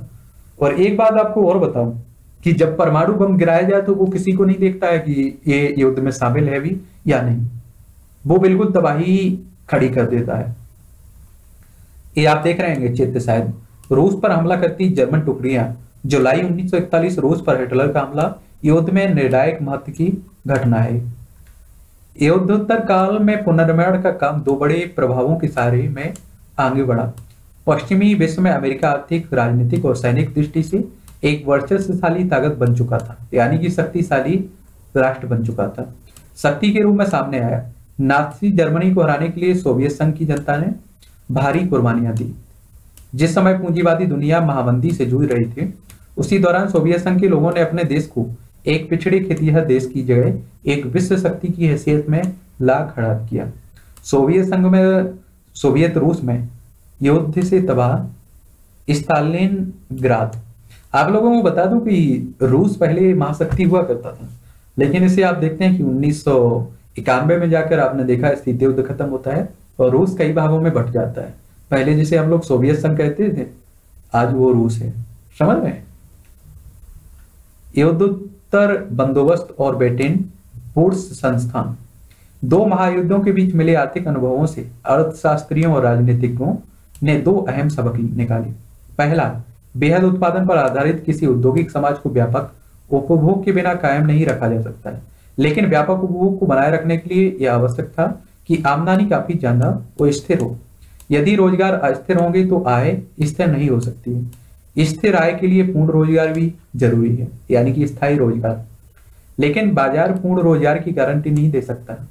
कीमत और उपज और रोज़गार में आने वाले उतार चढ़ाव को नियंत्रित करने के लिए सरकार का दखल ज़रूरी था। आर्थिक स्थिरता केवल सरकारी हस्तक्षेप के ज़रिए ही सुनिश्चित की जा सकती थी। दूसरा सबक बाहरी दुनिया के साथ आर्थिक संबंधों के बारे में था। पूर्ण रोज़गार का लक्ष्य केवल तभी हासिल किया जा सकता है जब सरकार के पास वस्तुओं, पूंजी और श्रम की आवाजाही को नियंत्रित करने की ताकत हो। संक्षेप में युद्धोत्तर अंतर्राष्ट्रीय आर्थिक व्यवस्था का मुख्य उद्देश्य था कि औद्योगिक विश्व में आर्थिक स्थिरता एवं पूर्ण रोज़गार बनाए रखा जाए। इस फ्रेमवर्क को जुलाई उन्नीस में अमेरिका स्थित न्यू हैम्पशर के बेटेन वुड्स नामक स्थान पर संयुक्त राष्ट्र मौद्रिक एवं वित्तीय सम्मेलन में सहमति बनी थी। ये आप देख रहे हैं, छब्बीसवा चित्र है। बेटन वुड्स अमेरिका स्थित माउंट वॉशिंगटन होटल यही वह स्थान है जहाँ बेटन वुड्स का ऐतिहासिक सम्मेलन आयोजित किया गया था। सदस्य देशों के बीच व्यापार में लाभ और घाटे से निपटने के लिए बेटन वुड्स सम्मेलन में ही अंतर्राष्ट्रीय मुद्रा कोष आईएमएफ की स्थापना की गई। और युद्धोत्तर पुनर्निर्माण के लिए पैसे का इंतज़ाम करने के वास्ते अंतर्राष्ट्रीय पुनर्निर्माण विकास बैंक, जिसे आम बोलचाल की भाषा में आप लोग विश्व बैंक कह देते हैं, इसका गठन किया गया। इस वजह से विश्व बैंक और आईएमएफ को बेटन वुड्स संस्थान या फिर Bretton Woods twin Bretton Woods की जुड़वा संतान भी कहा जाता है। इसी के आधार पर युद्धोत्तर अंतर्राष्ट्रीय आर्थिक व्यवस्था को अक्सर बेटन वुड्स व्यवस्था भी कहा जाता है। इस तरह के आपके जो भी संगठन है, राष्ट्रीय या फिर अंतर्राष्ट्रीय संगठन है, उनके बारे में हम लोग बड़े विस्तार से बात की हुई है। तो आप जाकर देखिए अंतर्राष्ट्रीय संगठन के नाम से प्लेलिस्ट सूची है उसमें आपके बहुत विस्तार से बताया गया है। अगर आपका एक संगठन पर अगर डेढ़ सौ से दो सौ शब्द भी लिखने को आ गए तो आप उन्हें देखकर अच्छे से लिख सकते हैं। ठीक है? और वैसे भी आप देखते हैं कि संगठनों का बहुत महत्वपूर्ण है। ये कई परीक्षाओं में आपके बनते रहते हैं इनसे क्वेश्चन तो आप जाकर देख लीजिए। और याद रखिए, मैं इतना कह सकता हूँ, आप अगर एडजस्ट करने लायक हैं तो आपके लिए इतना मटेरियल उपलब्ध करवा चुका हूँ कि मुझे नहीं लगता है कि आपका सिविल सर्विस या स्टेट पीसीएस में कोई कमी रह जाएगी। अब मध्य प्रदेश एमपी को देख सकते हैं आप लोग। आपने देखा है कि मध्य प्रदेश में सबसे ज़्यादा एमपी स्पेशल से क्वेश्चंस बनते हैं। मैंने कितने विस्तार से पढ़ा दिया है। बहुत विस्तार से एमपी को ध्यान में रखते हुए। और बिल्कुल फ्री कोई आपसे कॉस्ट नहीं, या कोई भी चार्ज नहीं लिया जा रहा है। समझ रहे हैं आप लोग? पीडीएफ के लिए आपका टेलीग्राम है। अब आपको अगर पैसा है तो मैं तो कहता हूँ किसी दूसरे की मदद कर दीजिए इतने पैसे, अगर आपके पास हैं। और आपकी अगर इन क्लासों से संबंधित कोई आपकी डाउट है तो आप बेझिझक बात करिए ना मुझसे। एसएमएस करिए, बात होगी अपनी। जो भी समस्याएँ होगी, उन्हें मैं सॉल्व करने की स्थिति में हूँ, हैं। अगर मेरे पास इतनी सुविधा है तो मैं कर सकता हूँ। ठीक है? विश्व बैंक और आईएमएफ ने 1947 में औपचारिक रूप से काम करना शुरू किया। इन संस्थानों की निर्णय प्रक्रिया पर पश्चिमी औद्योगिक देशों का नियंत्रण रहता है। अमेरिका विश्व बैंक और आईएमएफ के किसी भी फैसले को बीटो कर सकता है। और एक बीटो का मतलब बताओ आपको निषेध अधिकार होता है। इस अधिकार के सहारे एक ही सदस्य की असहमति किसी भी प्रस्ताव को खारिज करने का आधार भी बन जाती है। आपने देखा है विश्व परिषद में आपने संयुक्त राष्ट्र संघ आप सुन, लोग सुनते रहते हैं। उसमें आपने देखा होगा कि पाँच सदस्य होते हैं विश्व परिषद में। जो संयुक्त राष्ट्र की एक एक तरह से आप शाखा कह सकते हैं। उसमें आप देखते हैं कि बीटो पावर का ये मतलब होता है कि अगर चार देश भी पाँच देश हैं, आप बीटो मिली हुई है। अगर उन चार देश एक पक्ष में और एक देश भी के विरोध में तो उस निर्णय को स्वीकार नहीं किया जाएगा। उस प्रस्ताव को खारिज कर दिया जाएगा। समझ रहे हैं? यानी कि कोई भी आप प्रस्ताव ला रहे हैं तो उस पर सभी की सहमति ज़रूरी होती है। अंतरराष्ट्रीय मौद्रिक व्यवस्था, राष्ट्रीय मुद्राओं और मौद्रिक व्यवस्थाओं को एक दूसरे से जोड़ने वाली व्यवस्था है। वेटिन वुड्स व्यवस्था निश्चित विनिमय दरों पर आधारित होती थी। इस व्यवस्था में राष्ट्रीय मुद्रा जैसे भारतीय मुद्रा, रुपया, डॉलर के साथ एक निश्चित विनिमय दर से बंधा हुआ था। एक डॉलर के बदले में कितने रुपए देने होंगे यह स्थिर रहता था। डॉलर का मूल्य भी सोने से बंधा हुआ था। एक डॉलर की कीमत 35 औंस सोने के बराबर निर्धारित की गई थी। अब बात करते हैं प्रारंभिक युद्धोत्तर वर्ष, यानी कि प्रारंभिक वर्ष ब्रिटेन वुड्स व्यवस्था ने पश्चिमी औद्योगिक राष्ट्रों और जापान के लिए व्यापार तथा आय में वृद्धि के एक आपतिम युग का सूत्रपात किया। 1950 से 1970 के बीच विश्व व्यापार की विकास दर सालाना आठ प्रतिशत से भी ज़्यादा रही। आप समझिए कि युद्ध आपका कब 45 में खत्म हो जाता है 1945 में। उसके बाद की स्थिति की बात कर रहा हूँ। इस दौरान वैश्विक आय में लगभग पाँच प्रतिशत की प्रतिशत की दर से वृद्धि हो रही थी। विकास दर भी कामोवश स्थिर ही था, थी। उसमें ज़्यादा उतार चढ़ाव नहीं आए। इस दौरान ज़्यादातर समय अधिकांश औद्योगिक देशों में बेरोजगारी औसतन पाँच प्रतिशत से भी कम ही रही। इन दशकों में तकनीक और उद्यम का विश्वव्यापी प्रसार हुआ। विकासशील देश विकसित और औद्योगिक देशों के बराबर पहुँचने की जीतोड़ जीतोड़ कोशिश कर रहे थे। इसलिए उन्होंने आधुनिक तकनीक से चलने वाले संयंत्रों और उपकरणों के आयात पर बेहिसाब पूंजी का निवेश किया। इस बॉक्स को भी हम देख लेते हैं। एक साथ बहुत सारे देश व्यवसाय करने वाली कंपनियों को बहुराष्ट्रीय निगम मल्टीनेशनल कॉरपोरेशन या फिर बहुराष्ट्रीय कंपनी कहा जाता है। शुरुआती बहुराष्ट्रीय कंपनियों की स्थापना 1920 के दशक में की गई थी। 50 व 60 के दशक में जब अमेरिकी व्यवसाय दुनिया भर में फैलते जा रहे थे और पश्चिमी यूरोप एवं जापान भी विश्व युद्ध के प्रभाव से बाहर निकलते हुए शक्तिशाली औद्योगिक राष्ट्र बनने की ओर अग्रसर थे। तो उस समय ऐसी बहुत सारी नई कंपनियाँ सामने आई। बहुराष्ट्रीय कंपनियों का विश्वव्यापी प्रसार 50 और 60 के दशक में ही एक की एक विशेषता था। और इसके पीछे आंशिक रूप से इस बात का भी हाथ था कि ज़्यादातर सरकारें बाहर से आने वाली चीज़ों पर भारी आयात शुल्क वसूला करती थी। जिसके कारण बड़ी कंपनियों को अपने संयंत्र उन्हीं देशों में लगाने पड़ते थे, जहाँ वे अपने उत्पाद बेचना चाहती थी। उन्हें घरेलू उत्पादकों के रूप में काम करना पड़ता था। एक तरह से आप कह सकते हैं कि आज आप लोग चीनी, चाइना के फ़ोन आ रहे हैं, सस्ते हैं। हम लोग इन पर भारी भरकम टैक्स लगा दें। तो एक क्या कंपनियाँ करेंगी कि अपने देश में ना बना के हमारे ही देश में आएँगी और हमारे ही देश में अपना उत्पादन करेंगी? अनुपनिवेशीकरण और स्वतंत्रता। दूसरा विश्व युद्ध खत्म होने के बाद भी दुनिया का एक बहुत बड़ा भाग यूरोपीय उपनिवेशिक शासन के अधीन था। अगले दो दशकों में एशिया और अफ्रीका के ज़्यादातर उपनिवेश स्वतंत्र और स्वाधान, स्वाधीन राष्ट्र बन चुके। लेकिन ये सभी देश गरीबी व साधनों की कमी से जूझ रहे थे। जितने भी ये देश आज़ाद हुए थे उन्नीस के बाद, इन सभी के बाद पूंजी की कमी थी और संसाधनों की कमी थी। उनकी अर्थव्यवस्थाएँ और समाज लंबे समय तक चले उपनिवेशित शासन के कारण अस्त व्यस्त हो चुके थे। बहुत बुरी तरह से इन्होंने लूट लिया था, एक तरह से आप कह सकते हैं। आईएमएफ और विश्व बैंक का गठन तो औद्योगिक देशों की जरूरतों को पूरा करने के लिए ही किया गया था। ये संस्थान भूतपूर्व उपनिवेशों में गरीबी की समस्या और विकास की कमी से निपटने में दक्ष नहीं थे। लेकिन जिस प्रकार यूरोप और जापान ने अपनी अर्थव्यवस्थाओं का पुनर्गठन किया था तो उसके कारण ये देश आईएमएफ और विश्व बैंक बहुत पर बहुत निर्भर भी नहीं थे।